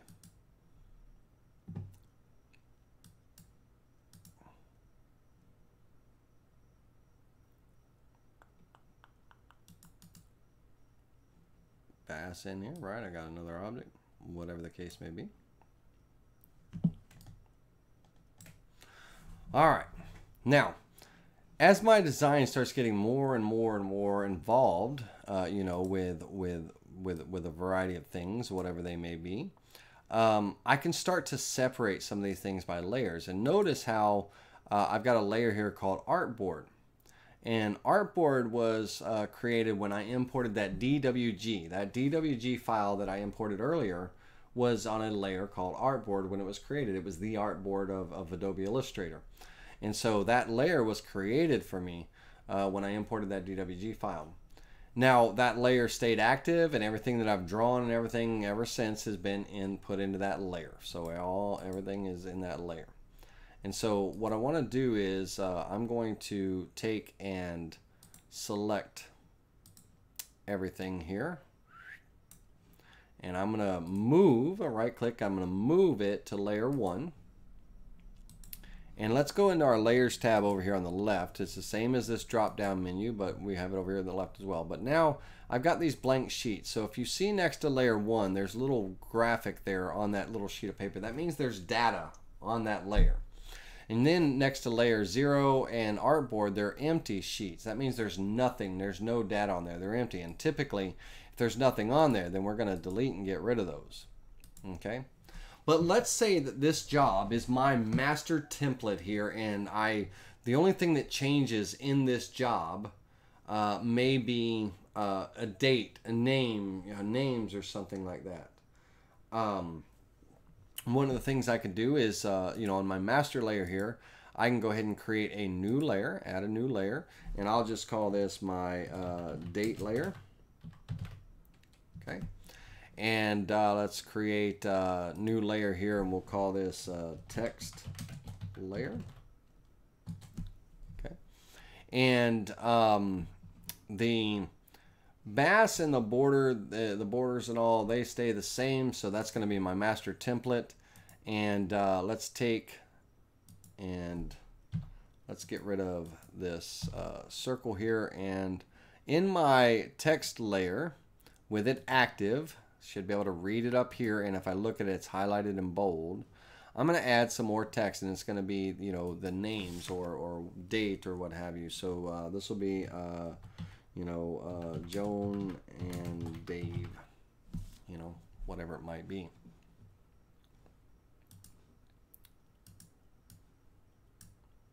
now on my master layer, I'm going to take uh, my text here, all of my text, and that's going to get moved over to that text layer. I want to make sure all of my text is on that text layer. And now I can, you know, I can turn that layer on and off to hide those those objects and stuff. Um, my date layer, I don't have any date in here right now, so uh, let's go ahead and make our date layer active. And let's come in and just throw in a date. We'll throw in a date right here and we'll call this uh, March 25th, 2018 and everything. Now when I created that, it automatically put it in the date layer because that's the layer that was active. Now, I said my, my layer one, I'm going to rename this as this is going to be my master uh, template you know, whatever it is. And now in that master template, I'm going to go into the file here, and I could do this in the layer tab or in the drop down here, but I'm going to go into this little document file right here, and I have the choice of doing some things. Uh, and one of the things I have is, is locking this layer. So now if we look at that layer in the left side, and if we drop it down, you see there's a little padlock next to the light bulb. It's locked, it's protected. That means that anything on that layer I cannot select. And no matter what I do, I cannot select anything on that layer. It's protected, it's locked.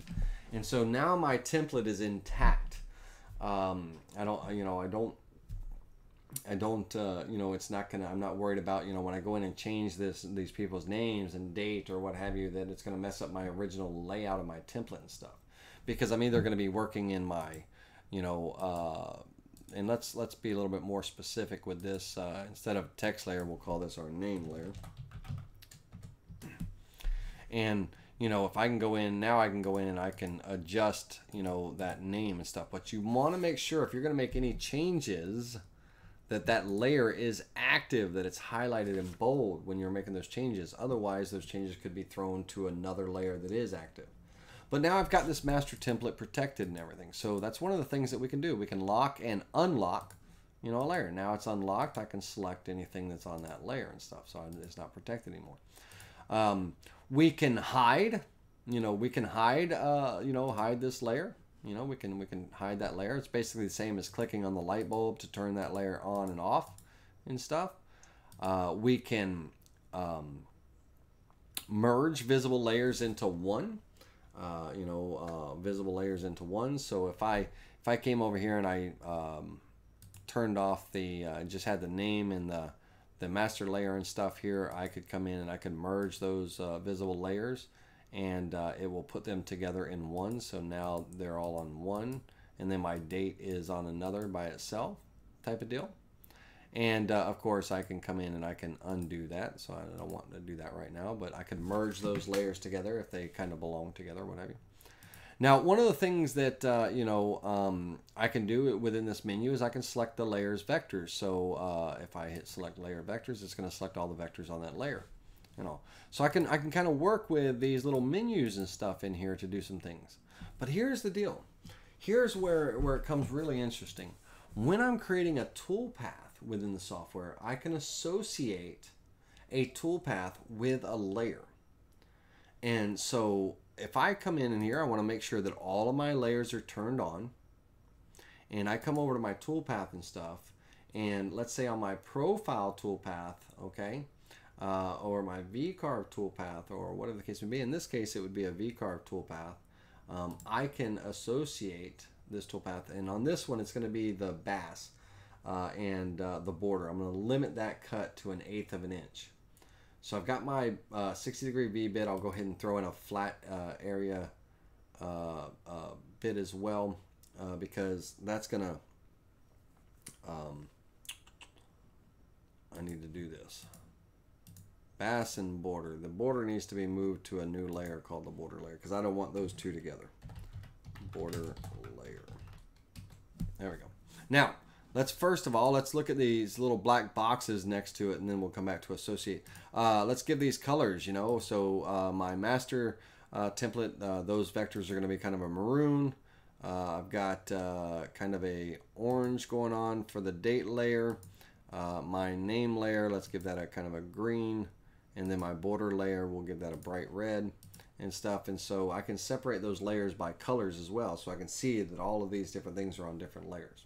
Now back to that toolpath. So let's go to that VCarve toolpath and I'm going to limit this cut to an eighth of an inch and um, this is going to be the bass, my master uh, uh, template and everything. Now one of the um, things is is uh, 60 degree V-bit. I want a flat area clearance tool uh, for this. So I'm going to go ahead and select the flat area clearance tool. It's going to be an eighth inch end mill. And now down here, I have my vector selection. And right now it's set to manual, meaning I manually come over here and select whatever it is that's getting selected. In this case, it's going to be the bass, not the border. I don't want the border selected. It's going to be just the bass and stuff. I can manually select that vector and I can calculate that toolpath, right? Okay, but let's do it a little bit more, a little better. Let's go in and use our vector selector and let's take and select all the open vectors and let's get back to a 2D view so you can see what happens in the 2D view. Let's uh, turn off these toolpaths here and um, on this toolpath if I use my selector I want to select all the open and closed vectors uh, and I want to associate these vectors with a toolpath. This toolpath, this particular toolpath I'm calculating right now. And I want to associate the vectors. I could do all the visible layers, right? Anything that's turned on, I could just select that and it would select all of them. But I want the master template, okay? I want it to associate this toolpath with every vector that's on the master template. And I'm going to click close and it's now going to say automatic. And so notice how it selected the bass here, and that's my master template. I'm going to hit calculate. Now let's go ahead and create our profile toolpath, and on the profile toolpath, I'm going to use that same 60 degree V-bit. and uh, eighth inch depth cut is fine. I want to be on the line on this, on the line, and I'm going to come into my selector and I'm going to associate. I'm going to associate this um, with every vector that's on the border vector, and click OK. And if I come in here, you'll see that border vector is selected now. We can calculate that, and on and on and on. Well, now what what does this do for me? And let's do one last one. Let's do our text. Uh, let's go with a V-carve and uh, no flat depth on this 60 degree V-bit. Let's go into our selector and associate this with everything that's on the name and date layer. So notice how it selected everything that's on the name and date layer and we'll calculate that. Now I've got these and everything and I've got the toolpaths calculated and let's get rid of this profile. It doesn't need to be here now. Uh, and if I preview all the toolpaths, you know, we've got that. But let's say, okay, you know, I've got the toolpaths calculated now, and I want to go over there and I want to make a change. Okay. Uh, Joan and Dave, uh, you know, Dave ended up running off with the bridesmaid, and now we have, uh, you know, um, Joan and Mike, or whatever the case may be. So let's go in here and let's change this. That wouldn't be a good scenario. But anyway, let's go into our text and let's change this uh, to um, Barbara and Stephen. Now, once I've done that, all I have to do is recalculate all the toolpaths. Okay, I've got this little button here for recalculating all the toolpaths. Those toolpaths are associated with all the vectors uh, with those layers. And so it automatically recalculated them and it recalculated the new names and stuff. So if I come into my view and I reset this preview and stuff, uh, and then I preview all the toolpaths and everything, now I've got my, um, you know, uh, Barbara and, and Steven and everything. So all I have to do is just, you know, those, those toolpaths are associated with vectors that are on particular layers.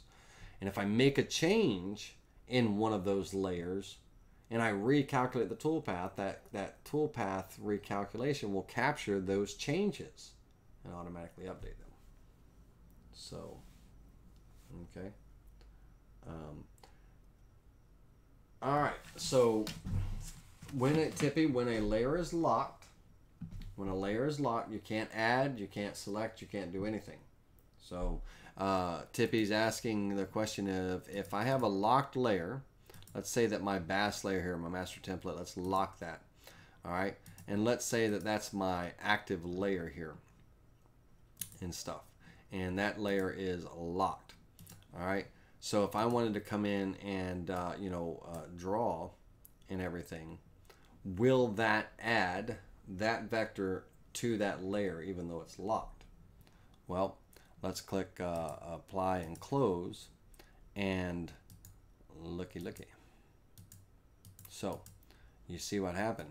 It added it but I can't reselect it to edit change or do anything with it. Okay? It dropped it on there but I can't do anything with it. If I didn't draw it the right size or whatever then I do have to come up and I do have to unlock that layer.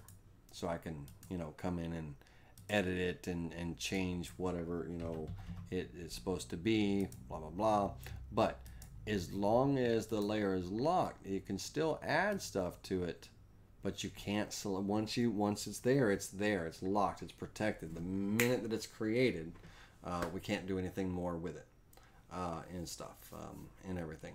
Uh, so we would have to unlock that layer if we had to do any editing to that shape name whatever it might be and everything so uh, once that tool is closed and everything, you know, it won't let me, you know, select that object. There's nothing I can do. It's there type of deal and stuff.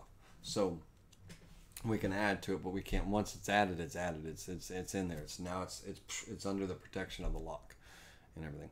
Now, if a layer is locked, can I associate a toolpath with it? Yeah. So if I go in, oh gosh, I got the hiccup. Sorry. If I go into my VCarve toolpath here, and um, let's uh, go into the selector, and I choose uh, associate with a toolpath with this locked layer. I can still, uh, you know, associate with that. That's my template and stuff. and I can calculate, you know, uh, that layer and stuff. So I, even though it's locked, it's protecting me from making changes during the drawing or the editing phase and things like that. It's my template and all that stuff. Um, but I can still associate a toolpath with it. I can still associate a toolpath with it and all that. Uh, so we don't have to unlock it just to create a toolpath. It's, it's just it's locked, it's protected, and all that.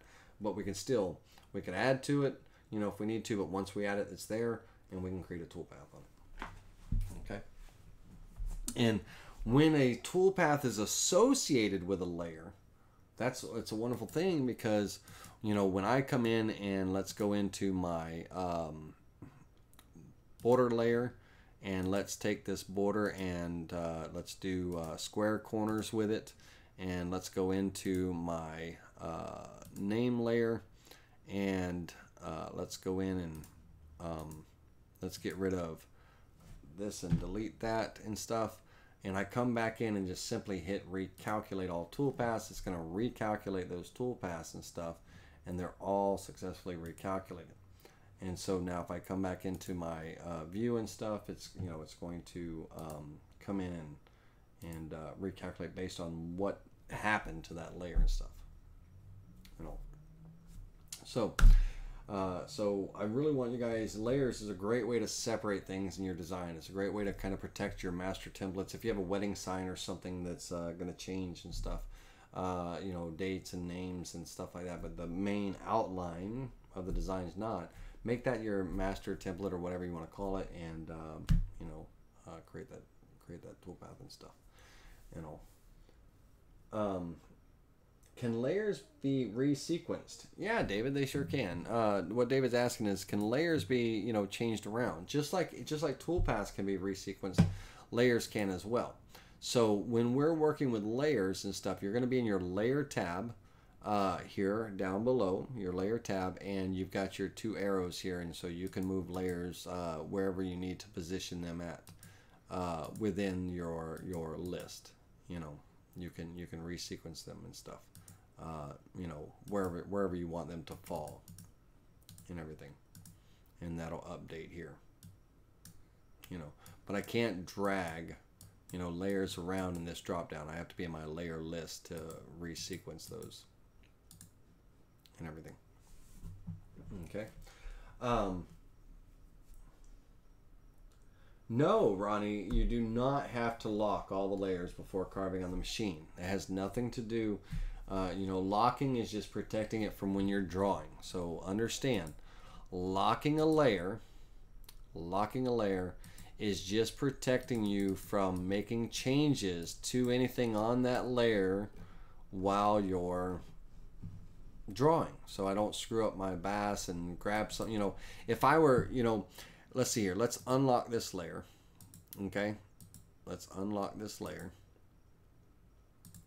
all right let's say that uh, I'm coming in here and I want to I'm trying to drag grab this circle right and I, instead of clicking on it I decided to draw a big old window around it right and um, you know I was gonna go delete it and when I delete it well I accidentally grabbed some of the stuff on my bass and I deleted it uh, you know, as well.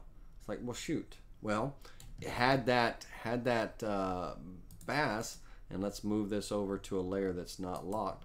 Um, had that bass layer, my master layer here, been locked and stuff, and I come in to grab that circle, it doesn't matter how far my box is over that bass, it's only grabbing that circle when I hit delete. Delete, you know. I'm not selecting something and accidentally deleting and losing something within my design because it's protected type of deal.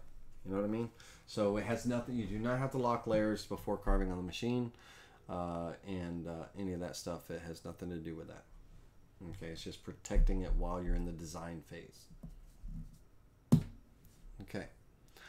Well, it's getting to be about 9 o'clock here and everything. And, um, you know, uh, I want to uh, briefly uh, talk to you uh, a little bit on. Um, I think layers we kind of pretty much got those nailed down, you know, and stuff. And I really want to emphasize layers because a lot of people don't utilize them or don't utilize them to their full extent.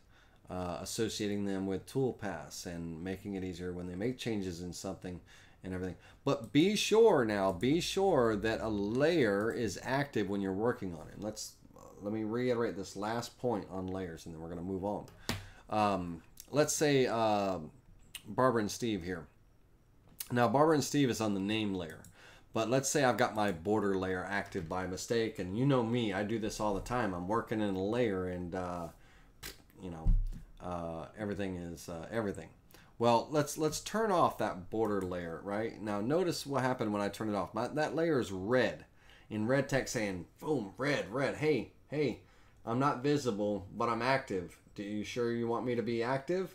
You know, I'm not I'm not visible, but I'm active. So it's like it's like, oh, do I need to make another layer that I'm working in active? But let's say it let's say it was. Okay, let's say this layer is turned off. Now let's say I'm working with Barbara and Steve here, and let's say I want to uh, kind of manipulate Barbara and Steve in some way, and I go into and I convert Barbara and Steve from text to a, a curved object, you know, a vector object, and I click on this tool, okay, and let's say I come in here and uh, change around. You see what happened? Do you see what uh, did it happen too fast for you? Do you see the border just popped back up on the screen? Now I just had that border layer turned off and invisible. All right. So now wait a minute. What color is that red, right? And and the name layer is green. Barbara and Steve were green just a moment ago. Well, they're red now. They just got thrown onto that layer because that layer was active when I was when I when I made this change to this vector. So now Barbara and Steven are no longer on the name layer where they should be. They're on a whole nother layer because I wasn't paying attention and I had my border layer active when I was drawing on it. So let's go ahead and let's undo that.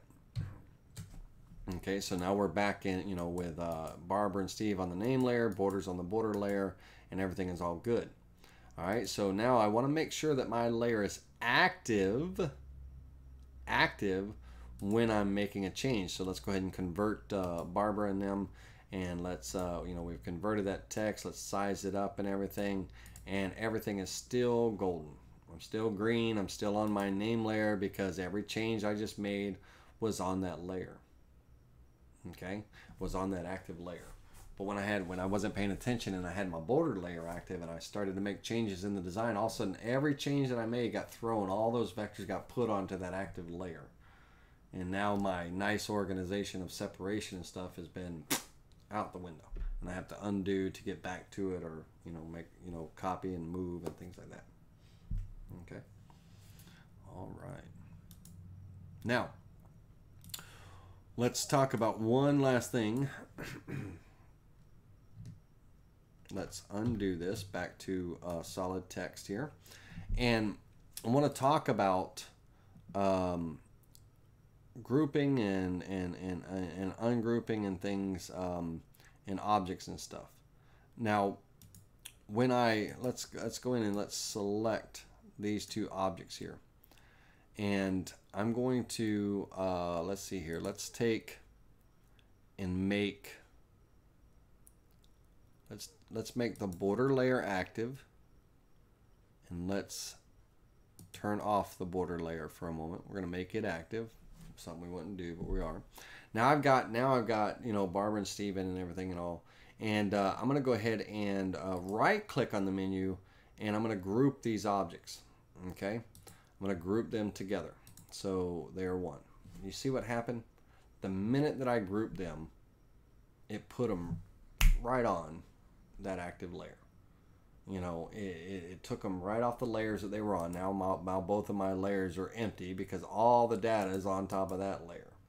So it's very important. Everything that we do, uh, make sure that we're working in the active layer. And that's the last time I'm going to say that. Let me undo that. Um, and let's get back to where we were. But I just really need to iterate that. Make sure, and I'm bad about it. You've seen, you if you've watched any of my classes and you know me, and all of a sudden I, I'm, I, I ungroup something or I convert something or what have you, and you see all this stuff pop up on the screen. I'm like, oh, you know, it's because I wasn't working in the active layer. Okay, make sure if you do have layers and you are making changes, make sure that layer is active. And active means you can read the name up here and it's highlighted in black bold text. You know, it's the active layer. Okay, and you activate a layer by clicking on it. Okay, all right. Okay. Alrighty. All right. So I think we got layers down, and let's. uh Thanks, Laney. I got it. Ronnie's like, I got it. Jeez. Um, all right. That's one crappy thing about layers. yeah, Todd, it is. Uh, but it just kind of gets it. Get you know, we got to keep things separate and stuff. Um, let's pause here for a minute. I've been talking a lot. Let's pause here and let's answer a couple of questions. So. Um, uh, Rebecca Schultz says, I think I figured this out as I was uh, rewording my question, but could you clarify the difference between closing open vectors and joining vectors? Okay. Um, I assume an open vector is just that a single vector that needs to be closed uh, when there's more than one and they cannot be connected together to close them like actually doing a join, correct? And yeah, and so um, let's draw out a, rectangle. Let's draw out a line. And let's draw out a, or that's a square, not a line, but uh, let's draw out, uh, you know, a rectangle now. And on this rectangle, I'm going to come in and uh, I'm going to go into node editing and I'm going to uh, cut the vector here and I'm going to just slide this node back a little bit. Okay, so we have a small opening there. Uh, on this one here, I'm going to come in and I'm going to just cut it there. Cut the vector here and I'm not going to slide anything so it still looks like a closed vector. And uh, then uh, one last one here, let's grab another square here. And on this one, let's go into node editing. Notice how every vector I put on the screen, um, notice how every vector I put on the screen is turning orange because I'm in that date layer, right? That's what color my date layer is um, and everything. So it's throwing it on those on those layers. All right, so now I have essentially four open vectors here. Okay, and uh, so I have the option to join, join open vectors. I have the option of joining or closing an open vector with a straight line, joining or closing a vector with a smooth curve, or joining and closing a vector by bringing the endpoints, the two ends of that vector, to a common point of intersection. Now, when we are joining a vector, an open vector, um, typically we have a tolerance okay? How big our tolerance is the gap you know that it's going to look for. And so if i were to select this rectangle over here i have one open vector and because my tolerance is four thousandths of an inch um, it's not going to give me the option to join it. My gap is too big okay? So i can't just simply join it. I've got to close this vector i can't join it but now let's grab this one instead and notice because the, the lines are so close together where they cut, it falls within my 4 thousandths of an inch tolerance. And now I have one open vector selected, but I can, I can now join this and close it. You know, I can join it together and close it because the lines are within my tolerance. All right. Well, let's say I change my tolerance and everything. Um, and let's let, before I do that, let me, let me, really emphasize this. And we're going to do this one here. Uh, I'm going to come into my join here and I'm going to change my tolerance and I'm going to change it to, uh, let's go an eighth of an inch. Oops, too many decimal points. Okay. Now, uh, within that eighth of an inch, uh, that does not fall. It's too big. It will not, is still not finding it, right? Still an open vector. So, okay, let's go ahead and change it to a quarter of an inch. All right, too many decimal points. Let's get rid of one of them. All right, still too big. It's not finding it. It's not going to let me join this and all. Okay, so now I'm going to increase it let's go a half inch. You know, now, okay, now it's found this vector and stuff and it's going to give me the chance to join. Well, here's the deal with that. This is supposed to be a rectangle. Okay, and if I if I increase my tolerance too much and I hit join, look what happens to my rectangle and said, okay. And it just moved that line over to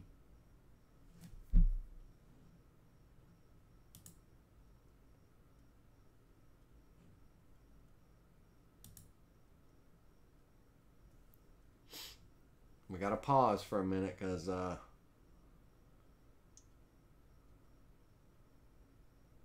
okay stand by we got to pause for a minute because um, uh, the stream lost connection for a moment Okay, we're back to good. I don't know what man. Stream's killing me. So it, it, it, it you know, uh, it moved my it moved my rectangle, and that's not what I want. And everything. So what I need to do is I need to join, and I have a choice: join with a straight line, join with a smooth curve, or join by bringing the two endpoints together. And so in this case, it's most likely my best option is going to be joining with a straight line. Okay, so it joins and closes it with a straight line.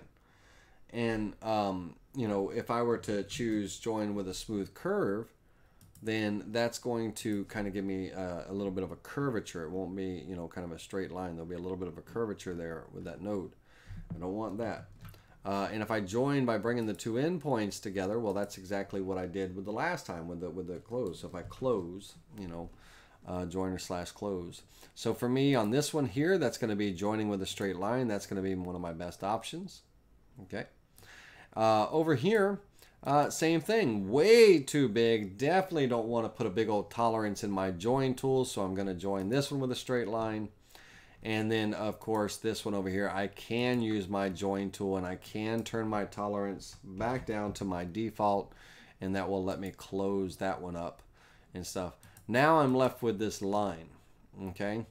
There's, there's, you know, if I try to join or close this with a straight line, um, then what's going to happen is, is it's going to, you know, uh, not do anything. Uh, it, you know, it, or it's if I try to join with a smooth curve, you know, it's not going to do anything for me. It's not going to close this off in any way. Uh, it's a straight line. There's two endpoints and stuff. They're they're not uh, ability to wrap together. If I try to join by bringing the two endpoints together, it's not going to do anything. You know, um, and, you know it's not it's not a vector that I can close unless, let's say, this line came up and over this way, and uh, you know now, and let's make sure these are connected. Let me kind of connect these together. I'm going to join these two together. Oops. I'm going to join these two together.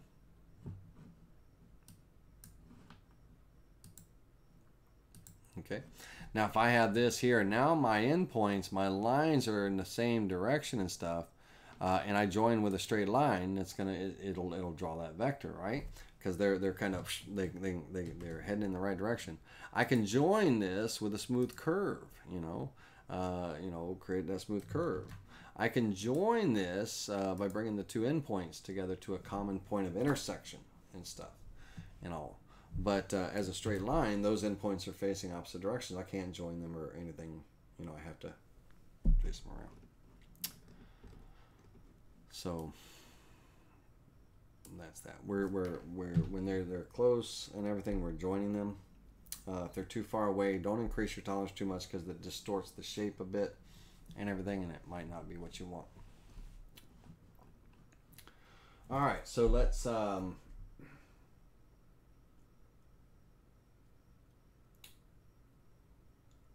let's see here. Your explanation of finding open vectors last week helped me greatly, but I kept hitting a wall when I would try to close a vector and it needed to be joined and the confusion set in. Well, hopefully uh, hopefully, uh, Rebecca, that very brief explanation helped.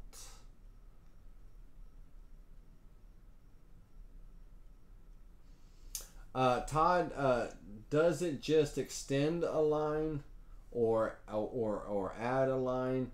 Um, it basically, if I was if I was closing like on that rectangle, if I had that uh, rectangle here and I had that rectangle open, let's uh, cut the vector here and let's pull that back.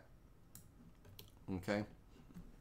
It's basically the same as using my extend tool, um, which is this guy right here, a wonderful tool, and I'm going to talk to you a little bit about it here in a second.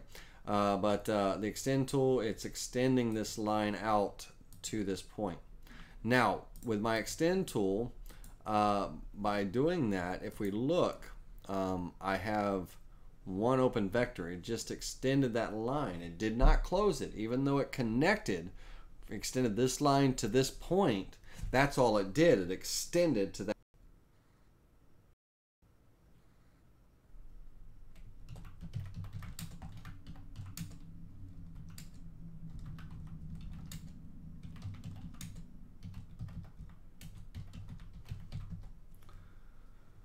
Okay.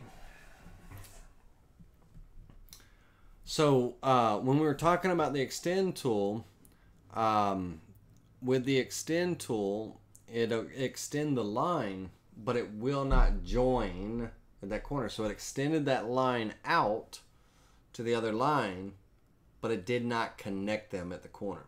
So when you're using your extend tool, you're extending the line from point A to B, but it's not connecting them.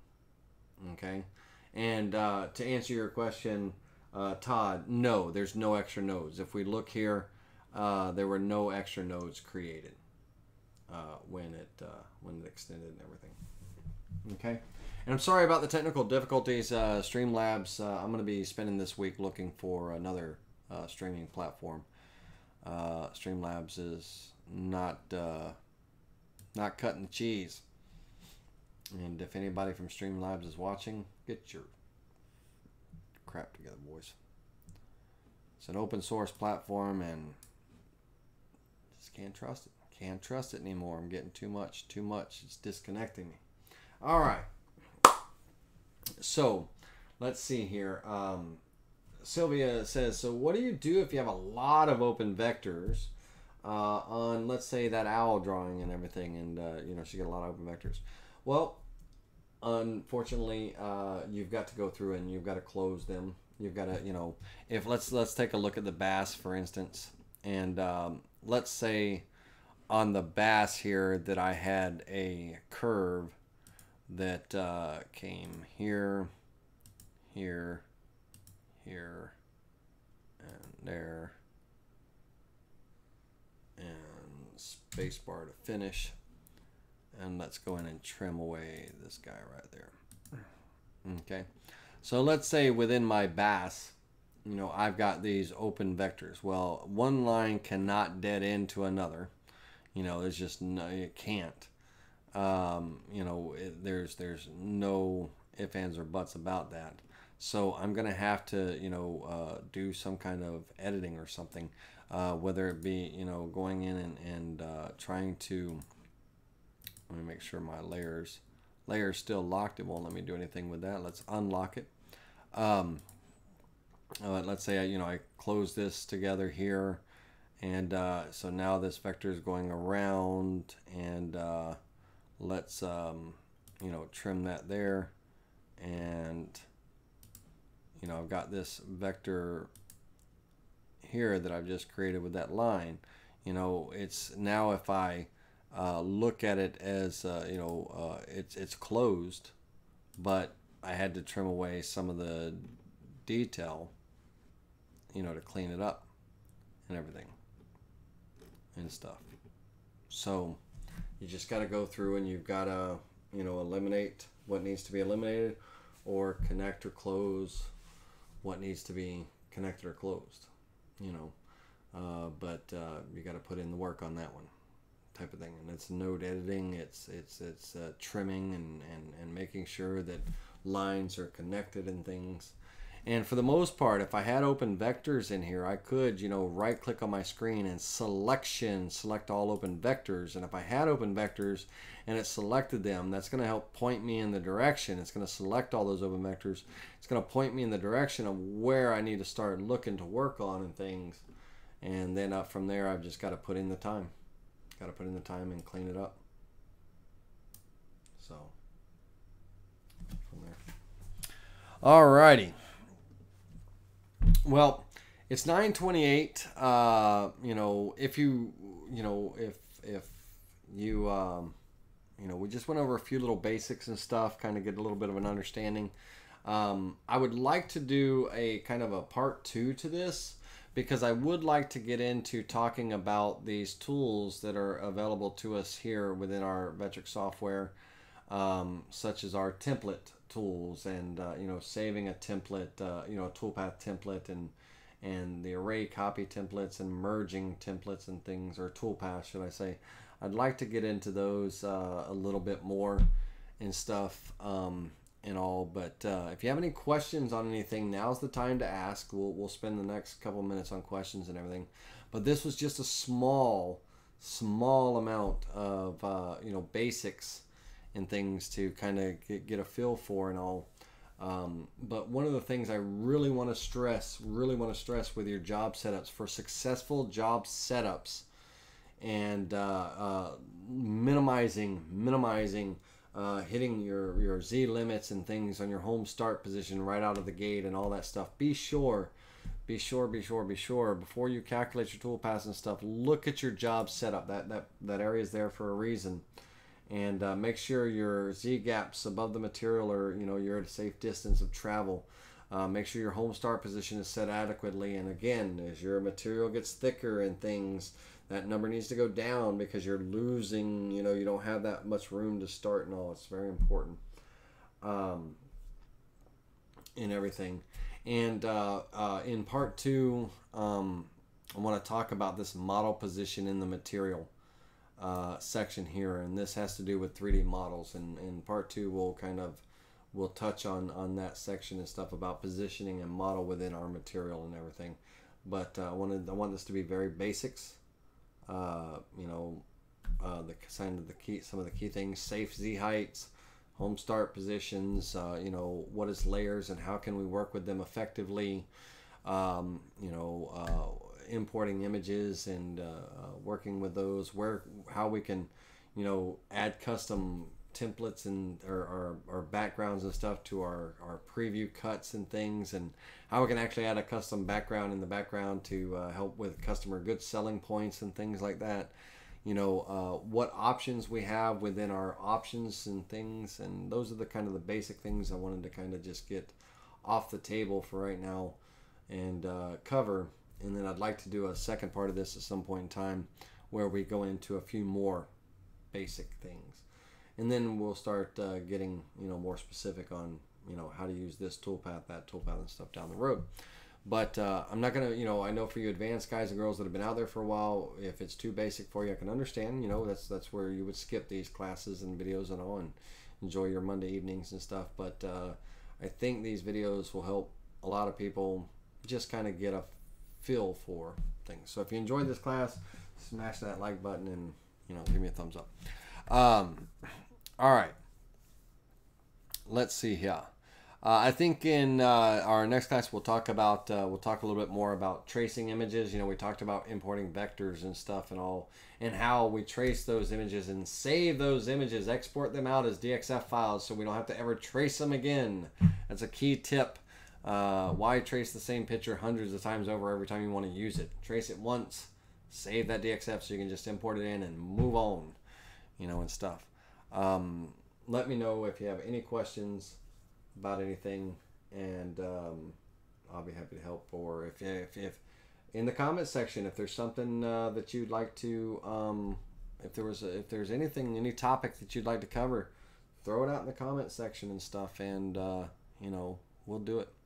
Um, the last thing that I'm going to close on uh, with you guys and girls is um, I want to. Uh, I don't know how many of you have, uh, you know, uh, get a chance to play around with it and all that stuff. Uh, but with our uh, tools and everything, within our tools and stuff, how many, uh, by, by a show of hands, how many of you have used the distort tool or use it often and stuff? It's one of my fun tools to play around with. Uh, I don't like, a lot of times there's just those times where cookie cutter text is, you know, no matter what decorative font I come up with and stuff and everything, and, and you know, I can curve and I can rotate and stuff, but there's just times I want to have some fun and I want to distort something. Now, uh, key fact for all you beginners that are just uh, you know working with the distort tool when you distort an object doesn't have to be text. If it's an object, uh, text, uh, vector object, you know, a shape or something, when you use the distort tool, it is no longer a vector object. It is no longer a text object. It is now an object inside of an envelope. So imagine taking something and throwing it inside of an envelope and however I distort or, or bend or flex that envelope, that object is going to take on that shape and everything and all. So use your distort tool to have some fun, but understand that make sure you got your spelling right if it is text, make sure you got the right font because there's no going back besides the undo button. But I like having fun with the uh, the uh, distort tool uh, for different things. And uh, you know, you can use a simple bounding box. You can use a single curve if I drew a curve on here, or maybe two curves, and I wanted to distort it between two curves. I like using the just the the basic bounding box and everything. And when I do, uh, it puts this box. It's like throwing these letters that I've got selected here. It's like throwing them inside of an envelope. You see this dotted line around them now. And now this envelope, no matter how I twist and turn this envelope, uh, you know, on this dotted line, I can add and make this line a uh, an arc instead of a or, you know a Bezier curve, and I can you know start to distort and have some fun, um, you know, and uh, I can you know really start to kind of manipulate things. And let's pull this corner up here a little bit higher. Uh, type of deal, and I can start to have some uh, fun in, in creating shapes. And uh, you know, I usually a lot of times I'll do this, uh, but um, you know, when we come back in here, uh, let's say that uh, I want this to be back to a straight line. Let's take this one back to a straight line. And let's bring this end down a bit. And let's bring this end up here and bring it down here. You ever see those uh, pendant flags uh, where you, you know, it's like go team type of deal. You know, uh, you can have some fun with that. but, um, uh, the distort tool is a, is a fun tool. We're editing the envelope when we want to distort. It's edit the envelope and everything, and uh, we can have some fun with that. Uh, again, we can change things, you know, to an arc, and we can really kind of, you know, uh, all kinds of different shapes and designs and stuff. Uh, you know, we can add, we can create curves. I can insert a point. Let's say I want to do insert a point here. So I could take this point maybe I want to drag this point up a little bit and uh, maybe I want this to be a line and, and this to be a curved area here, you know, to distort, whatever the case may be. But uh, have some fun with it to get you out of the cookie cutter, um, get you out of the uh, cookie cutter type of text. And you can download thousands of fonts and have creative fonts and all, but you can really start to kind of have some fun and mix and match and, and, and do all kinds of neat things with your text and your signs and stuff and really kind of uh, have some fun and uh, and all that stuff. Uh, so, uh, heck, you know, if you wanted to, you could also, um, you know, distort objects and everything. And um, let's uh, let's see what happens if we distort our our bass here. You know, I could take and you know get him a little bit fatter and let's kind of bring him and change him up and let's uh, Let's put a little bit of a curve here and see if I want to change him a little bit, kind of pinch him in, uh, make him look like a koi fish uh, more so than a, a, trout with that little koi mouth or what have you. You know, I can do all kinds of uh, funky things, you know, and stuff and kind of distort it. But um, yeah, and uh, now he looks more like a garfish or something than a, than a bass. But uh, you can have fun, do play with the distort tool. If you don't ever get to use it, it's one of those tools that kind of sits there and it's there.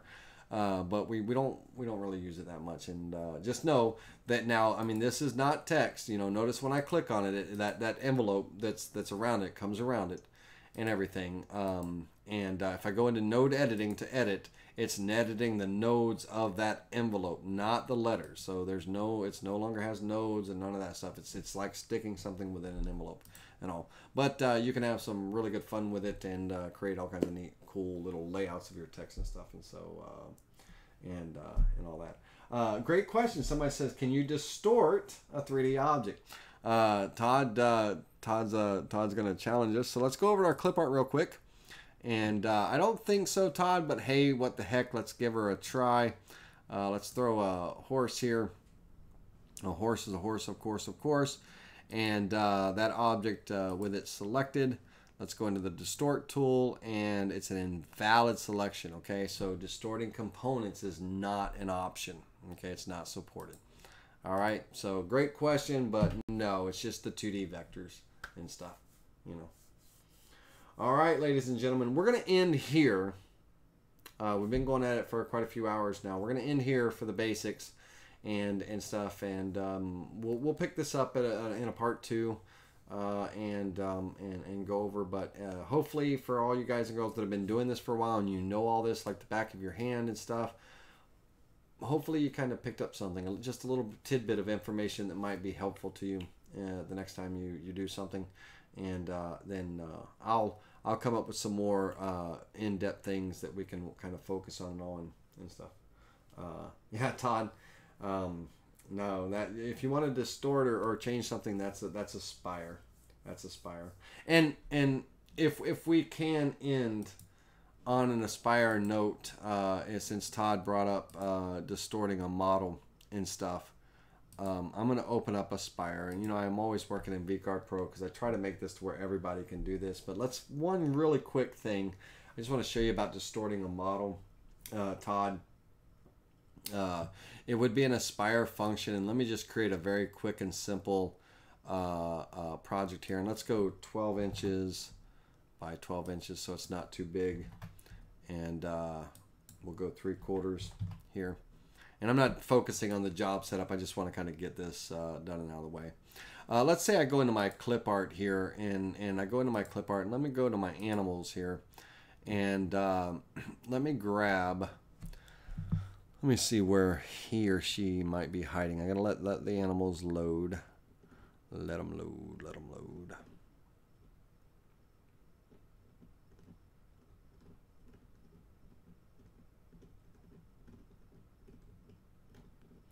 All right, now that they're fully loaded, let me come back up here and grab what I wanted to grab. All right, so um, this 3D horse here. Let's go into uh, dual view real quick so you can see the 3D horse here and stuff. I'm gonna mirror him so he's flipping. He is uh, he or she whatever is flipping the other way. So let me just take and uh, mirror him real quick. I'm just gonna flip him horizontally. All right. So let's say that I'm doing a, a, a design for a um, someone that does dressage and everything and uh, their horse and all. And I want this horse to kind of be bowing its head a little bit more than it is. And this is the only model I've got. Well, one of the cool things that I have is the ability within Aspire is to slice a model. Um, uh, slicing a model um, allows me to follow a contour or a vector. And so if I if I came in uh, and let me draw a vector first. Let me draw a curve here. And I'm going to start right here at the bottom of the neck and I'm going to draw a curve just kind of right around this area here and everything. Space bar to finish. All right, so I've got this curve. Now I'm going to take and I'm going to go back into my modeling tools and I'm going to go into the, the slice model tool. But now in order to slice a model, uh, I have to have a vector selected and then I have to also have the component selected, the model selected, and I can go ahead and slice this. And what it does is it creates a part A and a part B um, when it generates a model. We might get some buffering, so hang tight while it creates a second model, okay? So it creates a part A and a part B to this horse. Uh, and now on this horse, if I come in and select this and all, I can go ahead and get my pivot point in here and let me Oh my god, I just did a mafia thing on the horse. Hold on a second. Uh, let's put that back. um, let me grab this uh, pivot point here. Let me put it up there and everything. And now what that pivot point allows me to uh, come in and uh, I'm going to tilt this horse's head down a little bit more and stuff. Now, when I did that, uh, notice how the combine mode created this uh, you know, this combined section, how it puffed it up. And let me turn this to the side. You see that? So what I have to do is on those two parts there, I've got to change the combine mode to merge. Um, I want to merge those two parts together and things, okay? And uh, then from there, with those parts merged and stuff, now I can come in and I'm going to take those two objects, uh, make them one again. I'm going to bake them back together uh, as one object. And with that baked together, I can now, with that selected, I can go to my sculpting tool. And my sculpting tool is another thing within, I can use my sculpting tool and let me turn the diameter down a bit. Uh, but I can now come in here and uh, kind of uh, smooth out this um, this line here a bit and stuff and uh, clean that up some and everything. So uh, by um, doing that, you know, I've uh, essentially now able to have that horse's head bowing a little bit more and everything.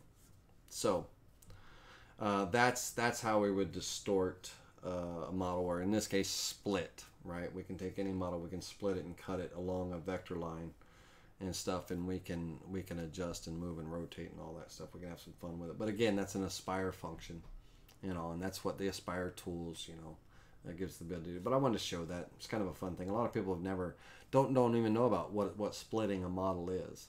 Uh, and thing. And it's basically splitting a model based on the vector that you've decided, and then kind of doing whatever you want to do with those two halves.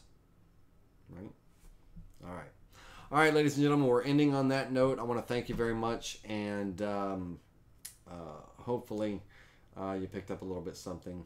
And uh, um, we'll, uh, if I didn't get to, if I missed a question at all, uh, and um, yeah, David, we might do part two next Monday, uh, next week and stuff, and then we'll kind of, you know, I'd like to just get some basics under the way, just to kind of get people back to the roots, you know, and stuff, and especially with the new folks and everything, and all that. Um, yeah, and uh, yeah, make a good. Uh, I don't, you know, I don't do a whole lot of Aspire focused videos because I know it's kind of, uh, you know, a lot of people don't have Aspire, a lot of people do, but I would love to start doing some Aspire classes whether they're not live, maybe they're just uh, direct and to the point videos that people can watch and all. But I would love to start doing some uh, Aspire classes with modeling and creating models and things. But uh, all right, guys and girls, we're ending now. I said that like three or four times, but we are going to say good night here. And uh, until next time, have a great day.